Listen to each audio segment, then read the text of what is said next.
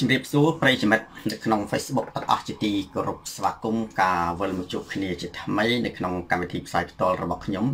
នេះម៉ោង9យប់ម៉ោងនៅក្នុងប្រទេសកម្ពុជាបើកឆាកស្វាគមន៍ប្រិយមិត្តដែលតែងតែនាំមកគេជានិច្ចគឺយុវជនដើម្បីប្រជាធិបតេយ្យវិចិត្រសួនអឺយ៉ាវបញ្ញាអឺខ្មែរបាក់សម៉ាន់ខីឃីងបាទជាចន្ទធីអឺមជុលពេជ្រ ជ្រែកមេឃសារិសុខាសៅសុខសុខានៅលក្ខស៊ីម៉ូនីរីយួងស្រីស្នំឈៀងអ្នកខេដេហ៊ុតសរុនអេនឌីមុកហេងគឹមឡុងហងកំឡុងនីហានជីវិតនិងកសិកម្មនីសេងលឹមហ៊ីលៀងយូថណែមម៉ៅធឿនប៊ុនកំប្រុកល្អិតកំពេចសេដ្ឋីផាត់សុភីបអានុលអលម៉ាក់និងតុនស៊ូ Cage Camera ព្រមទាំងប្រិយមិត្តជាច្រើនរូបដទៃទៀតដូចជាលីហេងនិងអ៊ុយសាខនម៉ាយ៉ានផាងដែលកំពុងតាមដានទស្សនាការផ្សាយផ្ទាល់របស់ខ្ញុំនារីត្រីនេះម៉ោង9យប់ម៉ោងនៅក្នុងប្រទេសកម្ពុជាខ្ញុំសូមបង្ហាញនៅរបៀបវរៈជជែកនៅថ្ងៃនេះដូចតទៅស្រងស្រេមទី1គឺការបង្ហាញប្រធានបទទី2បកស្រាយប្រធានបទទី3សំណួរចម្លើយនិងបញ្ហាផ្សេងផ្សេងប្រធានបទថ្ងៃនេះប្រិយមិត្ត តាមធម្មតាមាន2យូរយូរផ្លាត់ទៅ3ម្ដង គឺមាន2ប៉ុន្តែមុននឹងឈានចូលទៅដល់ប្រធានបទទាំងពីរនេះសម្បត្តិស្រស់ share វីដេអូនេះទៅកាន់ប្រិយមិត្តដទៃទៀតទូរទស្សន៍សនតារាទៅដល់ទីណាការផ្លាស់ប្ដូរផ្នត់កំណត់ទៅដល់ទីនោះការផ្លាស់ប្ដូរផ្នត់កំណត់ទៅដល់ទីណាការយល់ដឹងទៅដល់ទីនោះការយល់ដឹងទៅដល់ទីណាចិត្តអ៊ុយហ៊ុនសែនចប់ទៅដល់ទីនោះស្ដាប់សូនតារាកើនបញ្ញាស្ដាប់ខំវាសនាកើតខួរក្បាលពុំស្ដាប់ហ៊ុនសែនកើតរោគចិត្ត ទូរទស្សន៍សូនតារាស័កសុតស្រីស្រាតខោជន់ផ្ដាច់ការផ្លាស់ប្ដូរផ្នត់កំណត់ប្រធានបទទី1មានចំណងជើងថាហ៊ុនសែនសវ៉ាប់ជុនឆ្លើយតបនឹងរូបទុនជង្គង់ចិត្តផ្កាប់មុខរបស់គាត់វិចិត្រសួនមឿងផលីប្រធានបទទី2ដូចជាគ្មាននរណាថាសង់ប្រលានយន្តហោះយោធាចិននៅសៀមរាបទេ ថាតែហ៊ុនសែនខ្លួនឯងចឹងប្រិយមិត្តនេះគឺជាប្រធានបទសំខាន់តែសំទោសប្រិយមិត្តដែលមានបញ្ហាបច្ចេកទេសបន្តិចបាទសំទោសអ៊ីនធឺណិតបាទ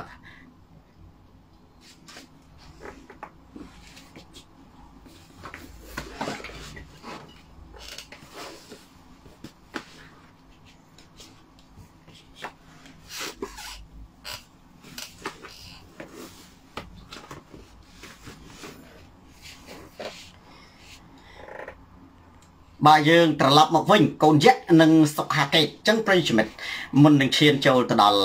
ការបកស្រាយនៅប្រធានបទនេះប្រិយមិត្តព្រះអាទិត្យសមុទ្រនិង New Hood Share វីដេអូនេះទៅកាន់ប្រិយមិត្តដទៃទៀត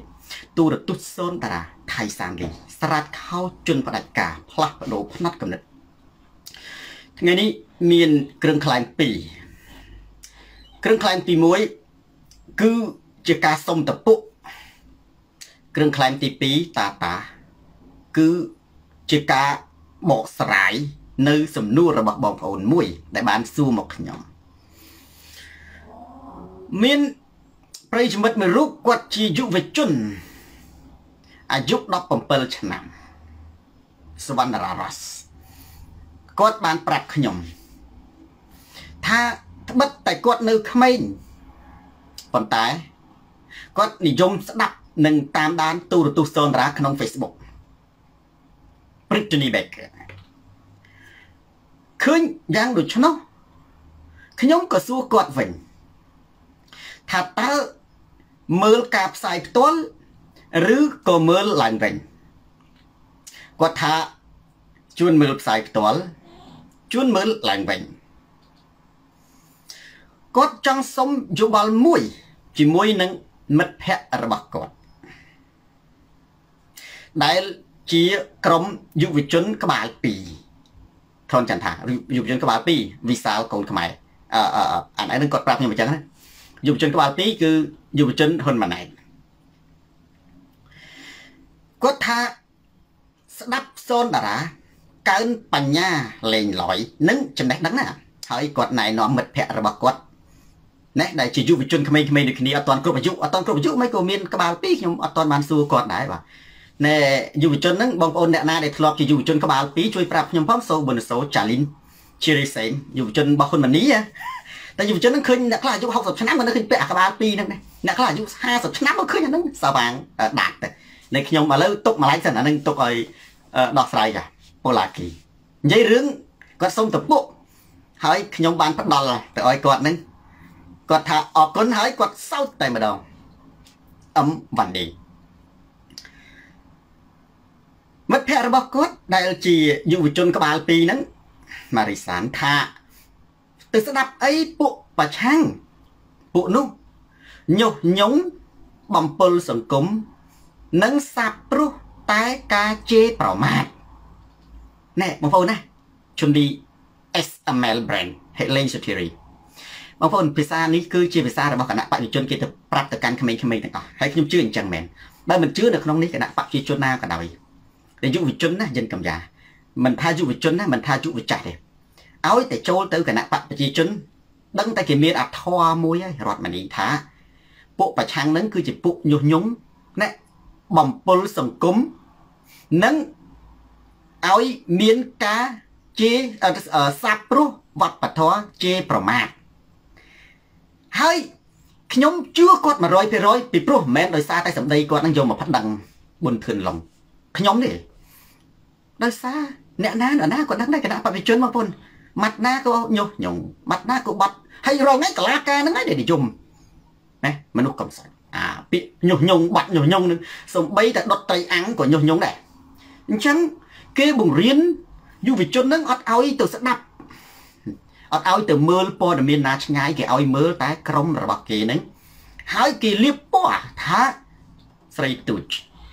ពួកគណៈបក ប្រឆាំងគឺជាគណៈបកញុះញង់សួងឈិនបំពល់សង្គមនិងសាបព្រោះវប្បធម៌ជេរប្រមាថហាពេលនោះគាត់គាត់តបអានេះខ្ញុំនិយាយគាត់គាត់និយាយមិនច្រើននេះខ្ញុំចឹងទេគាត់និយាយមកតិចទៀតទេតែអានេះខ្ញុំនិយាយរឿងរ៉ាមីកាណាកាណាកូគាត់ក៏ថាហឹមជេរប្រមាថគណៈបកប្រជាជនណា ក៏ជេរដូចតែគ្នាដែរម៉ាក់បញ្ញាឃើញជេរពេញតែ Facebook ហ្នឹងមិនមែនជេរតែគណៈបកប្រឆាំងទេជុំគាត់កណាពេលនោះមិត្តភ័ក្តិរបស់គាត់ក៏តបមកវិញថាផានីលឹមមកពីពួកប្រឆាំងហ្នឹងគិតតែពិសាព្រោះវត្តពធជេរទើបវាបណ្ដាលឲ្យសង្គមខ្មែរហ្នឹងនឹងគណៈបកប្រជាជនមួយចំនួនហ្នឹងគេទ្រាំអត់បាន ក៏ទៅជេរតាមពួកប្រឆាំងដែរនេះវាឆ្ងាញ់ដែលខ្ញុំយកមកធ្វើគ្រឿងក្លែមត្រង់អីទេខេមរាសុកត្រង់អាពាក្យថាជេរតាមបពប្រឆាំងឯងមកណារឿងពិតរឿងពិតតន្ត្រីពុំខ្ញុំបងប្អូនស្ដាប់សូនតារាទៅនឹងប្រហែលជាបងប្អូនកំពុងតអក្នុងចិត្តលោកគ្រូខ្ញុំឆ្កិញណាអាពាក្យហ្នឹង David Marina Chandler គាត់ថាខ្ញុំឆ្កិញណាស់លោកគ្រូអាពាក្យគណៈបព្វជនម៉ាត់ណាគាត់ថាញុះញង់បំពល់សង្គមញុះញង់បំពល់សង្គមញុះញង់បំពល់សង្គមញុះញង់បំពល់សង្គមថានោះថាតានោះមែនទេហើយ ថាបពប្រឆាំងសាព្រោះជេរប្រមាថដល់ទៅពេលគាត់ថាអញ្ចឹងមិត្តភក្តិគាត់តកើតមិត្តភក្តិគាត់តកើតហើយខ្ញុំក៏ឲ្យតពួកទៅគាត់មួយម៉ាំងខ្ញុំថាសំណួរឆ្លើយមានពីរបែបទី1សួរទៅមិត្តភ័ក្តិរបស់ប្អូនវិញខ្ញុំហៅគាត់ប្អូនព្រោះគាត់ថាគាត់អាយុ17ឆ្នាំតែនេះគាត់រៀនវិទ្យាល័យខ្ញុំបានសួរថ្នាក់គាត់គាត់ថាគាត់រៀនវិទ្យាល័យបរទេស ខ្ញុំថាសួរប្អូនសួរទៅមិត្តភ័ក្តិប្អូនវិញថាតើធ្លាប់ឃើញសំរងស៊ីកម្មសខានិងមេដឹកនាំគណៈបកសង្គ្រោះជាតិណា ម្នាក់ដែលជេរប្រមាថដែរឬទេឲ្យគាត់ឆ្លើយព្រោះមើលទូរទស្សន៍សូនតារាប្រិយមិត្តត្រូវកើនបញ្ញាហ្នឹងត្រូវចេះសួរដេញដោលទៅវិញពេលនោះខ្ញុំក៏ប្រាប់ទៅគាត់វិញថាបើអ្នកឯងស្អប់ ការជេរប្រមាថត្រូវធ្វើល្អចរិតណាកូនហេតុអ្វីបានជាអ្នកទៅគ្រប់គ្រងសម្ដេចហ៊ុនសែនដែលជេរប្រមាថដូចជា អាត្រូវក្របអារន្ទះបាញ់អាពុះចឹកអាខ្សែភ្លើងចប់ម្នេះអឺថ្ងៃរលូតកូនសុំទោសខ្ញុំថាតាមពាក្យគាត់ខ្ញុំនិយាយឡើងពិបាកក្នុងខ្លួននេះនេះគាត់និយាយថាឲ្យនារីខ្មែរយើងណានោះថ្ងៃអីចឹងថ្ងៃអញហើយខ្ញុំប្រាប់គាត់ថាតើអ្នកធ្លាប់ឮពាក្យទាំងនេះចេញពីមាត់ហ៊ុនសែនដែរឬទេ អាហ្នឹងចម្លើយទី1ខ្ញុំប្រាប់ទៅគាត់ចម្លើយទី2យើងត្រូវឆ្លើយទៅគាត់ទាំងពីរហ្នឹងបានវាទល់ផ្អកបងប្អូនគណៈបកប្រជាជនចឹងបានតែបងប្អូនយកតពួកសូនតារាទៅដាក់ទៅគឺទល់ផ្អកចម្លើយទី2គឺថាសូនវេហាមើលអា Cherry Khmer Democrat ហើយកុំដើរតួធ្វើអាត្រឹមត្រូវពេកអាហើយចុះអាប្លន់កៅអីគេសុកសុកនោះចុះអាណាទៅជេណែ តើអ្នកឯងយល់ថាអានឹងវាជារឿងត្រឹមត្រូវទេទៅប្លន់កៅអីគេ5000កៅអីជាងគុំសង្កាត់ចុះអាទៅប្លន់កៅអីគេ55កៅអីតំណាងរាជហ៎ចុះអាចាប់គេដាក់គុករាល់ថ្ងៃតើពិចារណាមើលបើសិនបើគេប្លន់កៅអីអ្នកឯងពួកម៉ាបើយើងនិយាយឯងអញពួកម៉ាអាយុ17ឆ្នាំចុះបើគេប្លន់កៅអីឯងចុះបើគេចាប់ម៉ែឯងដុតត្រីអាំងដាក់គុកតើឯងគូតែជេរដែរឬទេតើឯងអង្គុយដាក់ទំនាយទេឯងទៅធ្វើអីគេកាត់ឥឡូវបើឯងមិនដាក់ទំនាយ ចម្លើយហ្នឹងខ្ញុំឲ្យទៅគាត់ទីហ្នឹងបងប្អូនអញ្ចឹងចម្លើយទី1គឺសួរទៅគេវិញថាតើធ្លាប់ឃើញសំរងស៊ីនិងថ្នាក់ដឹកនាំសង្គ្រោះជាតិជេរដែរឬទេសាក់សុសរេអត់ចាតើធ្លាប់ឃើញហ៊ុនសែនជេរដែរឬទេអាត្រូវក្របអារន្ទះបាញ់អាពោះចឹកអាខ្សែភ្លើងឆក់ធ្លាប់ហើយយកបងឯងស្អប់ការជេរប្រមាថអាមិនបានទៅគ្រប់គ្រងហ៊ុនសែនដែលសាបព្រោះការជេរប្រមាថធីតាភូអាហ្នឹងវិញចេះមែនទេចុះរឿងគណៈបកអី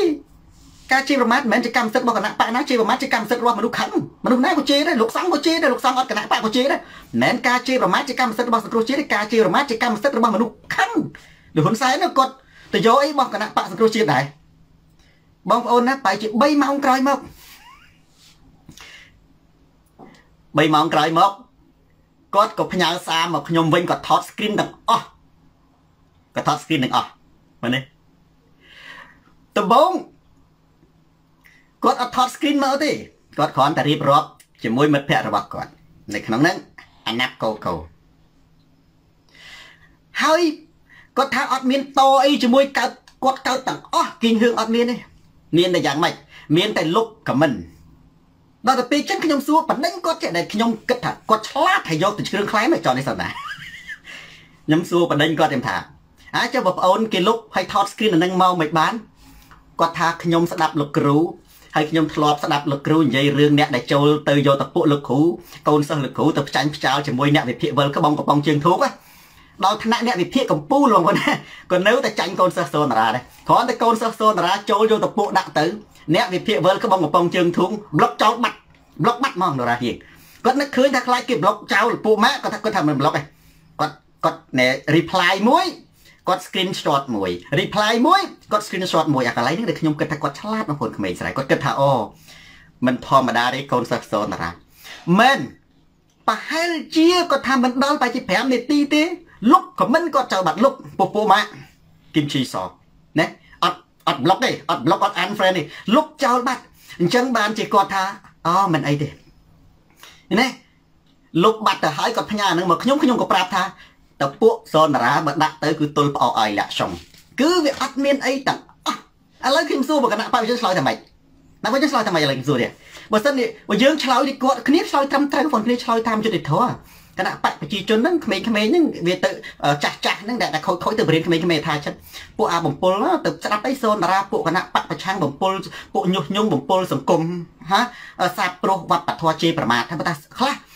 ដូចជាមានអត្តបតុញក្រុមមកត្រឹមត្រូវអ្នកតាំងខ្លួនជាកម្មសខានិយមយករូបថតសូនតារាសុកទី1ណារូបសូនតារារូបប៉ាងសខឿនរូបលោកប្រធានសំរងស៊ីហើយនឹងរូបទៅដាក់ជាមួយខំវាសនាថាបកែជេអានឹងឈួតបាត់មកអញ្ចឹងគេជេអត់ខុសមែនបើសិនជាដាក់រូបហ្នឹងគេចង់កាត់បថយណាប៉ុន្តែបើបងប្អូនឃើញរូបហ្នឹងជេខុសមែនបងប្អូនមានតែឃើញប៉ាងសខឿនគាត់ទៅចេះជេពីណាគាត់ណែណាគាត់និយាយបែបបញ្ញវន្តទេតើគាត់សក់បែបបញ្ញានេះឯងទុកជាមួយគេមិនចឹងណា ជាពិសេសសូនតារាចប់ហើយមុននេះហើយលោកធានសំស៊ីទៀតតែអស់លីងហ្មងហើយខ្ញុំស្គាល់ហើយណានេះយើងបើនិយាយពាក្យគូតេះឌីលណាមនុស្សប្រភេទហ្នឹងយើងអាចហៅអាបានយើងថាខ្ញុំស្គាល់អាម៉ាស៊ីហ្នឹងវានៅបាត់ដបងអាម៉ាស៊ីមួយនៅបាត់ដបងហ្នឹងវាដាក់រូបហ្នឹងទៅប៉ាងសខឿនលុតវិញមកប៉ោងខោណានេះបងប្អូនអាម៉ាស៊ីមួយហ្នឹងវាវាវាហួសអញ្ចឹងបានថាបងប្អូនបើឃើញអាហ្នឹងអះជេរថែមម្ដងទៅមិនអញ្ចឹង បងប្អូនវាទៅជាសូនតារានឹងអ្នកជេរដែរអត់តញតាប់នេះចប់ហើយបងប្អូនមើលមកខ្ញុំខ្ញុំអ្នកជេរស្អីខ្ញុំណា Brian Ross អេតែខ្ញុំមានដែលទៅថាស្អីខ្ញុំគ្រាន់តែថាអញ្ចឹងចឹងហើយបានវាសំវាត្រូវអាចគោណាគាត់នេះបានខ្ញុំលើកយើងគ្រឿងខ្លែមួយកូនសិស្សសូនតារាអាយុ17ឆ្នាំហ្នឹងផ្កាកំពុងធំគាត់ឆ្លាតបងប្អូន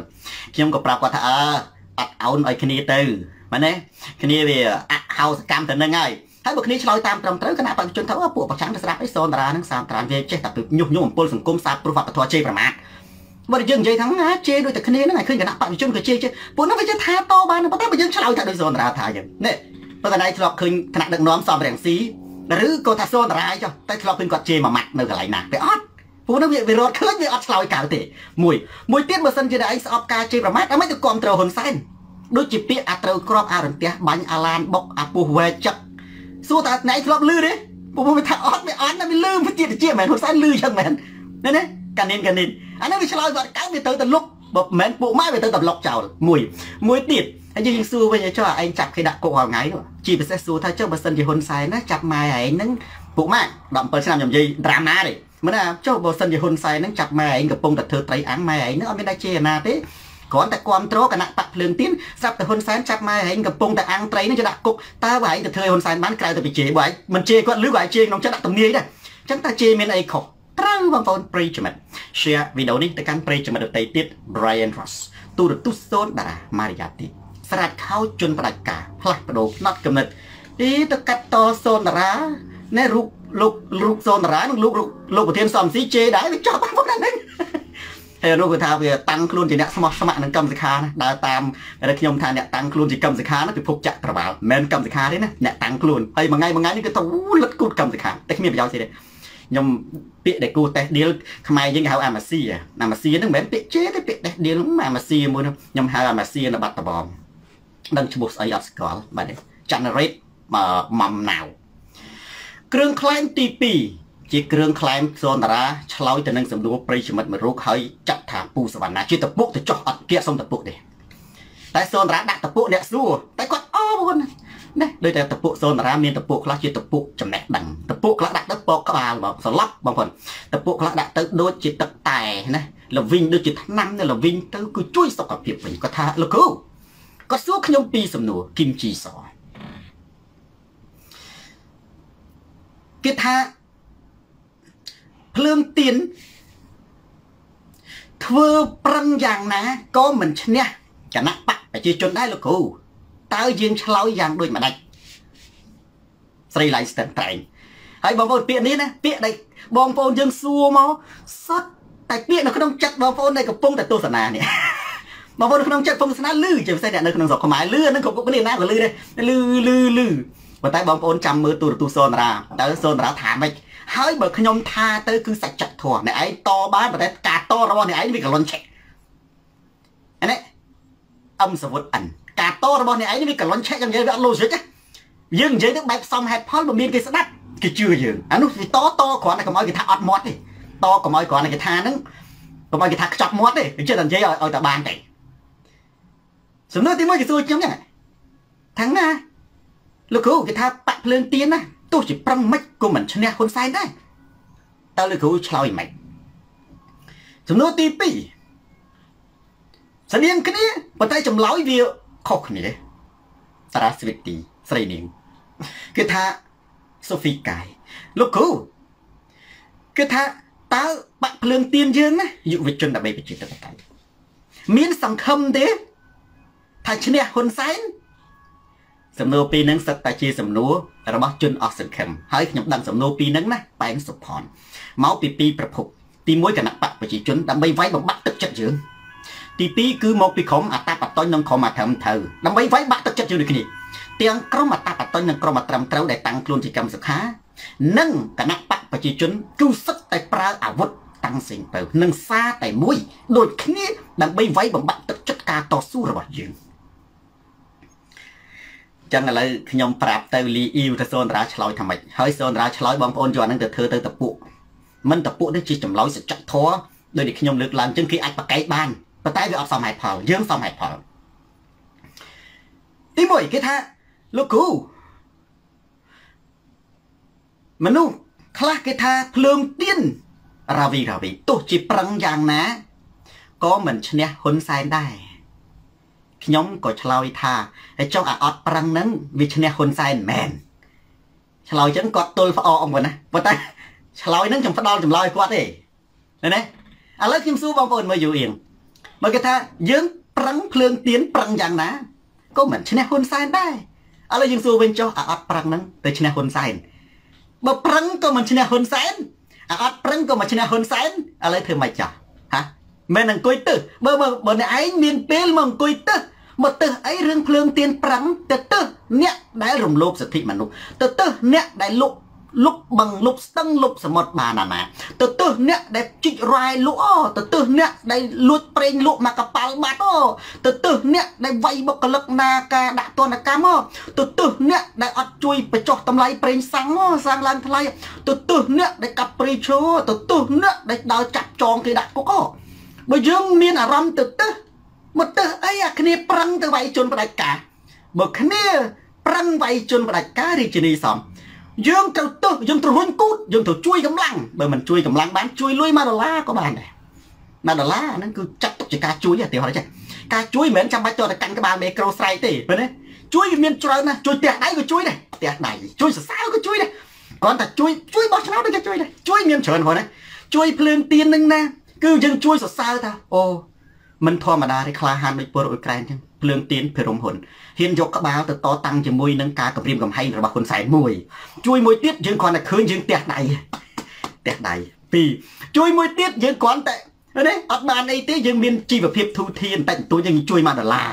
អញ្ចឹងទៅជួយដាក់ប្រអប់ ណែទៅក្នុងនេះទៅអ្នកដែលមានគេដាក់10ខ្លះដាក់20យើងទៅសបាយអត់មានស្ដាយសំណោះឲ្យទៀតហ្នឹងសបាយអ្នកខ្លះគេមានគេដាក់100ចោលគឺសបាយណាអាហ្នឹងអត់មានទេសបាយចូលជាតិខ្លះអត់ទាំងប្រាប់ឈ្មោះផងណែនេះដាក់100ទៅគេដើរទៅបាត់គេថាក្រោះមានណាទៅដើរទៅចុះឈ្មោះលើកដៃសាពះឯដូចអ្នកជំងឺក្នុងទីពេទ្យអត់មានតែខ្លះណែនេះអាហ្នឹងគឺជួយសុំថាវីខ្លះគេជួយជួយទៅកាន់ក្បាលមេក្រូជួយជួយទៅឈរឈ្មោះជួយជួយពាក់មួកជួយជួយហែជួយមានច្រើនណាស់រាល់ការជួយទាំងអស់សុទ្ធតែជាតម្លៃ ដូចសម្លដែលឆ្ងាញ់មានគ្រឿងគ្រប់ឬក៏មានគ្រឿងច្រើនអញ្ចឹងបងប្អូនចូលស្វែងរកបើសិនជាបងប្អូនដើរតួជាគណៈបកប្រជាជន ស្វែងរកចម្លើយមួយចំទាស់ជាមួយសូនតារាតើបងប្អូនចំទាស់ថាម៉េចបើខ្ញុំឆ្លើយចឹងណារដ្ឋរីនោះគេថាបាទគណៈបកភ្លើងទៀនណាទោះប្រឹងយ៉ាងណាក៏មិនឈ្នះហ៊ុនសែនដែរអើជំសូនតារាថាចុះអត់ប្រឹងឈ្នះហ៊ុនសែនចុះហ៎ដល់លើខ្ញុំសួរអត់ប្រឹងឈ្នះហ៊ុនសែន ហើយចុះបើអត់ប្រឹងបើអត់ប្រឹងឬតែអត់ឈ្នះហ៊ុនសែនបើអត់ប្រឹងក៏មិនឈ្នះហ៊ុនសែនតើអ្នកឯងធ្វើមិនឲ្យចឹងលើធ្វើធ្វើមិនណែមកអង្គុយទឹះអើបើមានអារម្មណ៍ទឹះដែរមកទឹះអីអាគ្នាអ្នកខ្សោយទៅវិញមកទឹះអីអាគ្នាអ្នកប្រឹងវាយជាមួយពួកផ្ដាច់ការសាហាវយងខ្នងមែនទេទៅទឹះអាអំពើប្រៃផ្សៃរបស់ហ៊ុនសែននោះបើយើងជំនួសឲ្យការទឹះយើងប្រើកំណត់ហ្នឹងយើងប្រើថាវិការដើម្បីចូលរួមជាមួយចលនាភ្លើងទៀននៅក្នុងស្រុកក៏ដោយឃើញហឹបភ្លើងទៀនដាក់នៅមុខទីស្នាក់ការហ្នឹងជិះម៉ូតូកាត់ហ្នឹងដក1000ដាក់ទៅ ដកអាហ្នឹងអត់ទេសូនរាថាអញ្ចឹងខ្ញុំធ្វើអញ្ចឹងខ្ញុំនៅស្រុកខ្មែរតាំងពីខ្ញុំខ្ញុំនៅនាយកមហាវិទ្យាល័យកាលនោះមិនទាន់គ្រប់គ្រងសង្គ្រោះជាតិប៉ុន្តែអត់ចេញមុខទេឆ្នាំ2012ដែលឆ្នាំ2013ណាឆ្នាំ2013មុននៅការបោះឆ្នោតហ្នឹងគឺខ្ញុំអ្នកហែគណៈបកសង្គ្រោះជាតិអីច្រើនតែប៉ុន្តែអត់ចេញមុខទេប៉ុន្តែខ្ញុំមានទម្លាប់មួយម្នេះកាលពីនៅឆ្នាំ2012 2013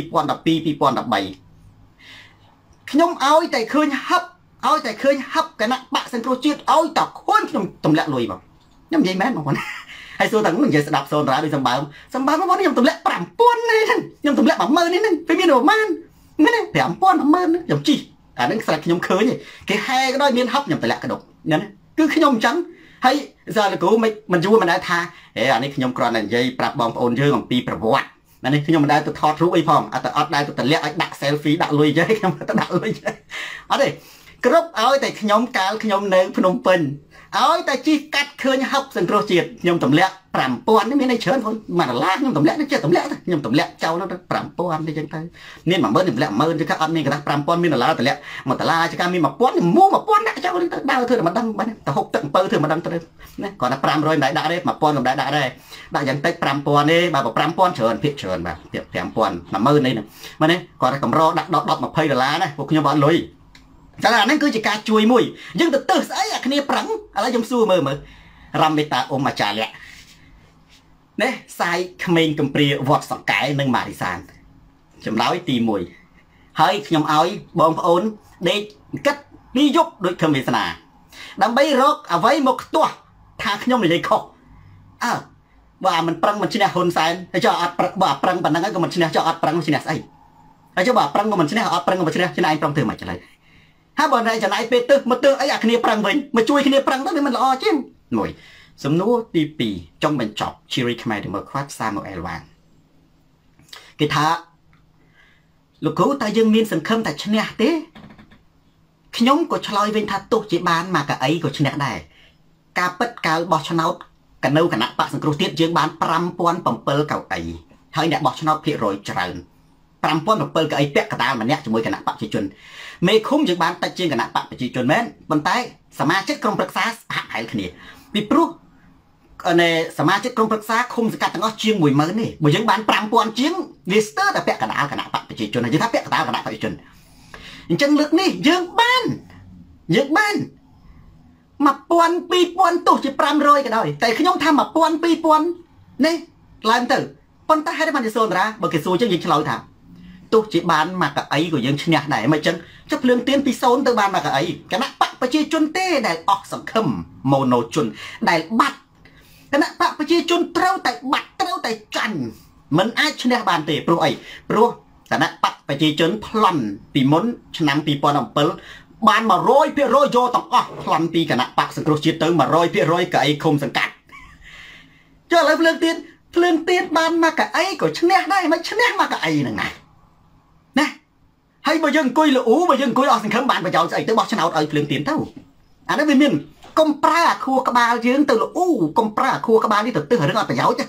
ប្រើខួរក្បាលយើងបើមិនអាឈឺចាប់បើយើងឈឺចាប់យើងទៅគប់ឲ្យភ្លើងទៀនណែខ្ញុំបាននិយាយលេងណាបងភ្លើងទៀនបានមកកៅអីក៏ឈ្នះដែរមិនហាគណៈបកប្រជាជនភ្លើងទៀនបានមកកៅអីក៏គណៈបកប្រជាជនចាញ់ដែរហេតុអីគណៈបកប្រជាជនបាត់តែយើងបានមកកៅអីគណៈបកប្រជាជនបាត់មកកៅអី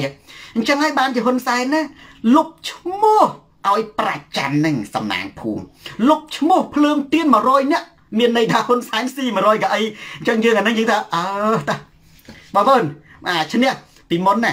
គណៈបកប្រជាជនណាពេលគេថាហ៊ុនសែនលួចកោចបនលួចលួចកែឈ្មោះលួចលុបឈ្មោះលួចសម្លេងណាគេធ្វើឯងនឹងតតាំងគេអយុត្តិធម៌គេថាឯងចាញ់ចេះតែថាតវ៉ា ចិត្តថាគេលួចចេះលួចចោះតាមពិតប្រជាជនអត់បោះឆ្នោតគេគេមានលេសហើយគេទៅប្តឹងទៀតគេទៅប្តឹងទៅផ្ដល់ថាបរិហាគេគេថាអ្នកកោចបនឹងលួចលុបឈ្មោះអ្នកបោះឆ្នោតដឹងថាអ្នកណាគ្រប់ត្របពប្រឆាំងទៅលុបឈ្មោះគេទៅដូរទីតាំងគេទៅដូរអីញ៉ៃញ៉ៃអញ្ចឹងទៅហើយចេះតែចោតប្រកាន់គេភេងសំដីពិតតែដល់ទៅពេលឥឡូវគណៈបកប្រជាជនណាសារភាពខ្លួនឯងណាមិនបាច់ចាំឲ្យគេចោទឯងលុបបដ ாய் ទេបងប្អូនឥឡូវនេះណា ហ៊ុនសែនបាន100កៅអីស្បាយប្រវត្តិលុបអាហ្នឹងអត់ទាន់និយាយអាកន្លែងអាកន្លែងដែលអត់មានភ្លើងទៀនចូលឈ្មោះទេអញ្ចឹងចម្លើយរបស់សូនតារាបើគេថាតើយើងមានសង្ឃឹមឈ្នះទេមួយកៅអីក៏ឈ្នះដែរហើយបើយើងទៅឈឺចាប់កុំទៅឈឺចាប់អារឿងចាញ់ហ្នឹងឈឺចាប់ត្រូវតែធ្វើការបោះឆ្នោតណាដើម្បីបង្កើតអ្នកគ្រប់គ្រងបង្កើតអ្នកបម្រើនៅក្នុងឃុំសង្កាត់ Zoo Zara ចឹងប្រិយមិត្ត share វីដេអូនេះទៅកាន់ប្រិយមិត្តដទៃទៀតទូរទស្សន៍សូនតារា ស្រាតខោជន់ផ្ដាច់ការផ្លាស់ប្ដូរផ្នត់កំណត់បាទខ្ញុំចម្លើយពីនេះជាតពុហើយខ្ញុំឲ្យអ្នកប្រាជ្ញគណៈបកប្រជាជនឬក៏អតបអតុនខមធម្មទៅគណៈប្រជាជនគេអត់ទេគេអត់បកអាហ្នឹងណាគេដឹងតែវាយបាក់ទឹកចិត្តជាងហ្នឹងប៉ុន្តែខ្ញុំឲ្យគណៈបកនៃអតបអតុនខមធម្មទៅរកអ្វីមកចំទាស់ជាមួយនឹងសូនរាបង្ហាញថាខ្ញុំនិយាយខុសខ្ញុំថាមកកៅអីក៏ឈ្នះដែរមិនហាមកកៅអីក៏ឈ្នះដែរបើយើងបានមកកៅអីគណៈបកប្រជាជនត្រូវតែបាត់កៅអីពុកឃុំគណៈបកប្រជាជនកាន់100% បើយើងបានតែ10មានន័យថាគណៈប្រជាជនបាត់10ហ្នឹងយើងឈ្នះ10គាត់ថាយើងវាអត់ឈ្នះទាំងអស់ប្រិយមិត្ត share វីដេអូនេះទៅកាន់ប្រិយមិត្តដទៃទៀតវិចិត្រសួនទូរទស្សន៍សូនតារាបងវ៉ាស្រាត់ខោជន់ផ្ដាច់ការផ្លាស់ប្ដូរផ្នែកកណិត បាទគេសម្រិតនិងម៉ារីសាដល់ប្រធានបទនេះគឺប្រធានបទជក់ចាប់ទៀតបងប្អូនត្រៀមប៉ុន្តែបងប្អូនណាជួយមើលមានគេផ្ញើសារមកខ្ញុំគេថាទូរទស្សន៍សូនតារានិយាយនិយាយទៅ គឺគេលោតឲ្យ report ព្រោះ នៅក្នុងប្រទេសកម្ពុជា គេបង្កើតនៅគេហៅថាមានក្រុមហ៊ុនចិនហ្នឹងចំណាប់អារិយាដើម្បី report report ហ្នឹងរួមគ្នា report នៃទូរទស្សន៍សនតារាទៅក្រុមហ៊ុនហ្នឹងវាកាត់ផ្ដាច់ហ្មងដែលខ្ញុំឲ្យឈ្មោះថាផ្លោងក្របមីស៊ីលចូលទូរទស្សន៍សនតារាអញ្ចឹងបងប្អូនកុំច្រឡំចុចផ្ដេសផ្ដាស់ឲ្យសោះបើឃើញលូតអីក៏ដោយនៅលើអេក្រង់ទូរទស្សន៍សនតារាកុំទៅរវល់មែនទេត្រឡប់មើលទូរទស្សន៍កុំទៅប៉ះពាល់វាទាញយកដៃទាញចេញ កុំទៅប៉ះពាល់វាឲ្យសោះព្រោះឥឡូវនេះយើងមិនដឹងថាយើងយើងដាច់ខ្ញុំតវ៉ាបានទៀតអត់ទេព្រោះនេះប្រធានបတ်ក្តៅទេណាប្រិយមិត្តគេកំពុងតែផ្លោងគ្រាប់ចូលទូរទស្សន៍សនត្រាយបងប្អូនត្រូវការពីវាឲ្យបានព្រោះទូរទស្សន៍នេះស្រាតខោជន់ផ្ដាច់ការផ្លាស់ប្ដូរផ្នត់គំនិតតែទោះយ៉ាងណាដំណឹងមួយចេះចុះមុននឹងចូលទៅដល់ប្រធានបទសំខាន់ប្រធានបទខាងនេះខ្លីៗទេគឺឆ្លើយបកទៅហ៊ុនសែននៅវេទិកាស៊ីមរីវិញណាកំចាប់ពីថ្ងៃស្អែកទៅថ្ងៃច័ន្ទគឺរយៈពេល3ខែខ្ញុំ មិនបានធ្វើការផ្សាយផ្ទាល់រៀងរាល់ថ្ងៃទេសម្រាប់តែចុងសប្តាហ៍និងថ្ងៃទំនេរតែប៉ុណ្ណោះយីជាងលឹមពីព្រោះត្រូវចូលហត្ថកម្មការងារបាទចុះ start នៅស្រុកនេះគឺយើងត្រូវមានសកម្មភាពខ្លះដែលมันអាចអត់រហូតទេព្រោះទម្លាប់ស្រុកគេហ្នឹងបើសិនជាគេហៅថាយើងត្រូវមានសកម្មភាពខ្លះឲ្យវាមានតំណែងតំណងជាមួយនឹងរដ្ឋបាលបើសិនជាយើងអត់ធ្វើការសោះអត់បានទេ យើងត្រូវមានទៅរៀនបើយើងអត់ធ្វើការយើងត្រូវចុះ star យើងត្រូវទៅរៀនអីផ្សេងអញ្ចឹងសូមមេត្តាខន្តីបៃទោសប្រិយមិត្តនេះគូជាដំណឹងមួយថាចាប់ពីថ្ងៃស្អែកទៅរយៈពេល3ខែការផ្សាយផ្ទាល់គឺមានត្រឹមតែសៅរ៍អាទិត្យតែប៉ុណ្ណោះហើយនឹងមានអ្វីប្រែប្រួលទៀតក្រោយពី3ខែ3ខែក្រោយមកទៀតបើសិនជាមានការងារវាអាចទៅចឹងរហូតបើសិនជាអត់ទេរយៈពេលរងចាំមួយខែពីរខែអាចផ្សាយផ្ទាល់ដោយប្រកបរីវិញអ្វីអ្វីមិនទៀងទាត់តែទោះយ៉ាងណាក៏ដោយទូរទស្សន៍សូនតារាអ្នកតាឃ្លាំងមើងស្រាតខោជន់ផ្ដាច់ការផ្លាស់ប្ដូរផ្នត់កំណត់ ទី1រំដួលព្រះវិហារ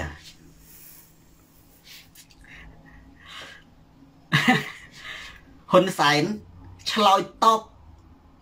នឹងរូបដើរទុនជង្គង់ចិត្តផ្កាប់មុខរបស់គាត់នៅសៀមរាបថ្ងៃនេះផ្ទុះរូបនឹងពេញ Facebook ហើយរាល់ការផ្ទុះរូបទាំងអស់ ខ្ញុំលើកយកប្រធានបទនេះខ្ញុំលើកទឹកចិត្តកូនសិស្សសនារាទេពូពៅស្ទើរតែគ្រប់មនុស្សដែលតាមដានទូរទស្សន៍សនារាផ្ញើសាររូបថតនឹងមកសនារាស្ទើរតែគ្រប់គ្នាទី1ទី2គាត់យកអារូបនឹងទៅបង្ហោះហើយគាត់ mention ឈ្មោះខ្ញុំបងប្អូនទៅមើលឲ្យតែឃើញអ្នកណា mention ឈ្មោះខ្ញុំបងប្អូនដឹងថាហេតុអីបានជាបងប្អូនយើងផ្ញើរូបហ៊ុនសែនដើរទុនជង្គង់ ណានេះហើយ mention ឈ្មោះខ្ញុំពេលដែលគាត់ផុសនៅក្នុងទំព័រ Facebook របស់គាត់ទេពីព្រោះគាត់ចង់ប្រាប់ថាប៉ាហេងសូនរានឹងនិយាយត្រូវគាត់ចង់ប្រាប់ថាហ៊ុនសែនដើរលើបាតដៃសូនរាគាត់ចង់ប្រាប់ថាសូនរានឹងនិយាយថាបើហ៊ុនសែនថតរូបស្អាតស្អាតវាយកូនគោលហាត់ប្រានមានន័យថាគាត់កំពុងតែ បតោកសរោមនៅក្នុងបន្ទប់ពេទ្យឬក៏លើផ្ទះទេបងប្អូនចង់ប្រាប់ថាសូនតារានិយាយទោះជាហ៊ុនសែនខំប្រឹងលាក់ខំប្រឹងបិទបាំងយ៉ាងណាក៏ដោយគឺវាត្រូវតែធ្លាយមួយឬក៏បងប្អូនចង់ប្រាប់ថាឲ្យខ្លីហ៊ុនសែនពិតជាដើរលើបាត់ដៃសូនតារាមែនពិតប្រកបមែនឥឡូវយើងចូលដល់សំណួរថាតើ ហ៊ុនសែនពិតជាទ្រុឌទ្រោមការពិតមែនដែរឬទេខ្ញុំធ្លាប់បាននិយាយច្រើនហើយអានឹងនិយាយច្រើនគាត់ខ្ញុំខាននិយាយយូរសេរីសវណ្ណសីហាដោយសារតែវារឿងហ្នឹងវាវាដដែលឥឡូវវាថ្មីមកទៀតថ្មីក៏ដដែលដែរខ្ញុំធ្លាប់និយាយរឿងកាលគាត់ទៅចែកណយនៅពូសាត់អត់ណាដឹងផងគេផ្ញើវីដេអូខ្ញុំមកខ្ញុំប្រាប់នាទីទៀតខ្ញុំថាហ៊ុនសែនគេសែងឡើងទូកឬវាឡើងផ្ទះយាយចាស់ទេបងប្អូនយើងបញ្ញាប់ទៅមើលឲ្យលឿន មិនចឹងហ៊ុនសែនលុបបាត់ឥឡូវលុបមែនដល់គាត់តែចំលោកគ្រូសំណាងអីពេលលោកគ្រូនិយាយបណ្ដៅខ្ញុំមានទូរស័ព្ទពីរខ្ញុំចូលមើលទំព័រហ៊ុនសែនខ្ញុំប្រាប់នីតិបងប្អូនកណ្ដាលយើងប្រាប់គេឲ្យមើលយើងប្រាប់នីតិមានបងប្អូនខ្លះត្រូវមាត់សនតារាផ្ញើវីដេអូមកខ្ញុំទាំងដុលខ្ញុំអត់មើលហ្នឹងមែនទេត្រូវប្រាប់ថាលោកគ្រូនេះហ៊ុនសែនគាត់នៅចែនៅនីតិទី31អញ្ចឹងអានេះយើងដឹងពួកយើងអត់មានពេលឥឡូវហ៊ុនសែនវីដេអូផ្សាយផ្ទាល់របស់គាត់មានរយៈពេល1ម៉ោងកន្លះ ហើយយើងអង្គុយមើលម៉ោងកន្លះដើម្បីទៅមើលចំណុចនឹងណាឃើញអត់ទេប្រាប់នាទីបងប្អូនខ្ញុំសូនតារាអ្នកបច្ចេកទេសអ្នកសិក្សាស្រាវជ្រាវអ្នកដែលធ្លាប់សរសេរនីខេតក្បត់ណាសិនរ៉ូសិតធំធំណាអញ្ចឹងគេដឹងគេនិយាយពីទំព័រគេនិយាយអំពីណាអឺឈ្មោះសភៅនៅទំព័រណាទំព័រណាគេនិយាយច្បាស់ចេះអញ្ចឹងខ្ញុំប្រាប់ហ៊ុនសែននៅនីតិទីប្រមាណទីប្រមាណបងប្អូនចុចបឹបមានឯណាក្រោយតែទូរទស្សន៍សតារានិយាយចប់បងប្អូនថាអាទូអាវីដេអូនៅក្នុង page សម្បត្តិហ្នឹង removed មែនទេ removed មានន័យថា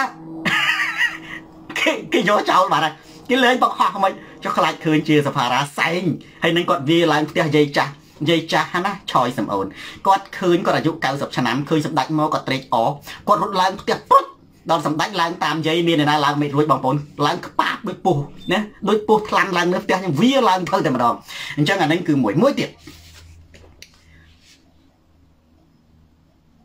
តើហ៊ុនសែន ឆ្លើយតបយ៉ាងដូចម្ដេចទៅនឹងរូបថតប្រចាំថ្ងៃនៅថ្ងៃនេះចំណានស្មោះនៅថ្ងៃនេះរូបដ៏ល្បីប្រចាំទំព័រ Facebook គ្រប់គ្នាហើយស្ទើរតែគ្រប់គ្នា mention ឈ្មោះសូនារាបញ្ជាក់ថាហ៊ុនសែនពិតជាដើរលើបាតដៃសូនារាប្រកែកមិនបានទេអានឹងបងប្អូនចង់បងប្អូនតែឃើញហ៊ុនសែនទុនជង្គង់នឹង mention ឈ្មោះខ្ញុំគ្រប់តែគ្នាឆ្ងល់មានន័យថាម៉េចមានន័យថា ចុះលោកគ្រូនិយាយមិនខុសសោះឯងខំមកចាញ់បោកហ៊ុនសែនគឺរូបថតស្អាតស្អាតខ្ញុំប្រាប់បែបបើកាលណាហ៊ុនសែនថតរូបស្អាតស្អាតវាយកូនគោលហាត់ប្រានគាត់កំពុងតែដើរអូបជើងទេកំពុងតែបតោកសរោមទេមិនហ៊ុនបោកសែនស្មើគម្រាមបោកបោកណាកូនស្រែក្មេងស្រែអ្វីអ្វីដែលហ៊ុនសែនដែលយើងឃើញគឺជារបស់ខ្លាំងខ្លាយឥឡូវមានពីរចំណុចមុននឹងឈានចូលទៅដល់ចំណុចក្តៅសានជ័យបងប្អូនសួរថាហេអត់ឃើញហ៊ុនសែនឆ្លើយតប ជាមួយអ្នកដែលរូបថតទុនជង្គង់ចិត្តផ្កាប់មុខនៅសៀមរាបផងហ្នឹងហើយមិនបានលោកគ្រូថាហ៊ុនសែនឆ្លើយតបបងប្អូនតរនមើលនៅណាបងប្អូនការឆ្លើយតបរបស់ហ៊ុនសែនគឺតាមរយៈបង្ហោះរូបវាយកូនគោលហើយសរសេរថារតនវិសិទ្ធខ្ញុំមានកម្លាំងដូចអាយុ30ឆ្នាំបងប្អូនទៅមើលទំព័រ Facebook របស់គាត់ហើយគាត់បានបង្ហោះរូបច្រើនសន្លឹកនៅទីលានវាយកូនគោលនៅសៀមរាប ដែលរូបថតមានជើងស្វិតស្វិតនិងវាយកូនគោលនេះចកេះត្រង់អោនអត់រួចបងប្អូនទៅមើលវិញរូបថតគឺមានការបន្ថែមពន្លឺនិងបច្ចេកទេសជួយសុទ្ធសាធកុសលរតនៈអានឹងជាការឆ្លើយតបរបស់ហ៊ុនសែនបងប្អូនពាក្យដែលឆ្លើយតបនេះមិនចាំបាច់ហ៊ុនសែនឆ្លើយតបសូនតារារាល់ថ្ងៃស្ទើរតែរាល់ថ្ងៃនៅក្នុងវេទិការបស់គាត់ប៉ុន្តែបងប្អូន ទោះតែលើពាក្យថាសូនតារាបានថាហ៊ុនសែនឆ្លើយតបអត់ទេឥឡូវខ្ញុំសួរបងប្អូនណាមានដឹងថាហ៊ុនថ្ងៃនឹងហ៊ុនសែនពេលដែលគេផ្អោលរូបថតគាត់ទុនជង្គង់ចិត្តកាប់មុខចុះពីលើកម្មចតាហ្នឹងបងប្អូនមានខ្លួនសានឆ្លើយតបទេសរុនគង់បងប្អូនថាអត់លោកគ្រូអត់លោកគ្រូបងប្អូនថាអត់បងប្អូនអត់បញ្ញា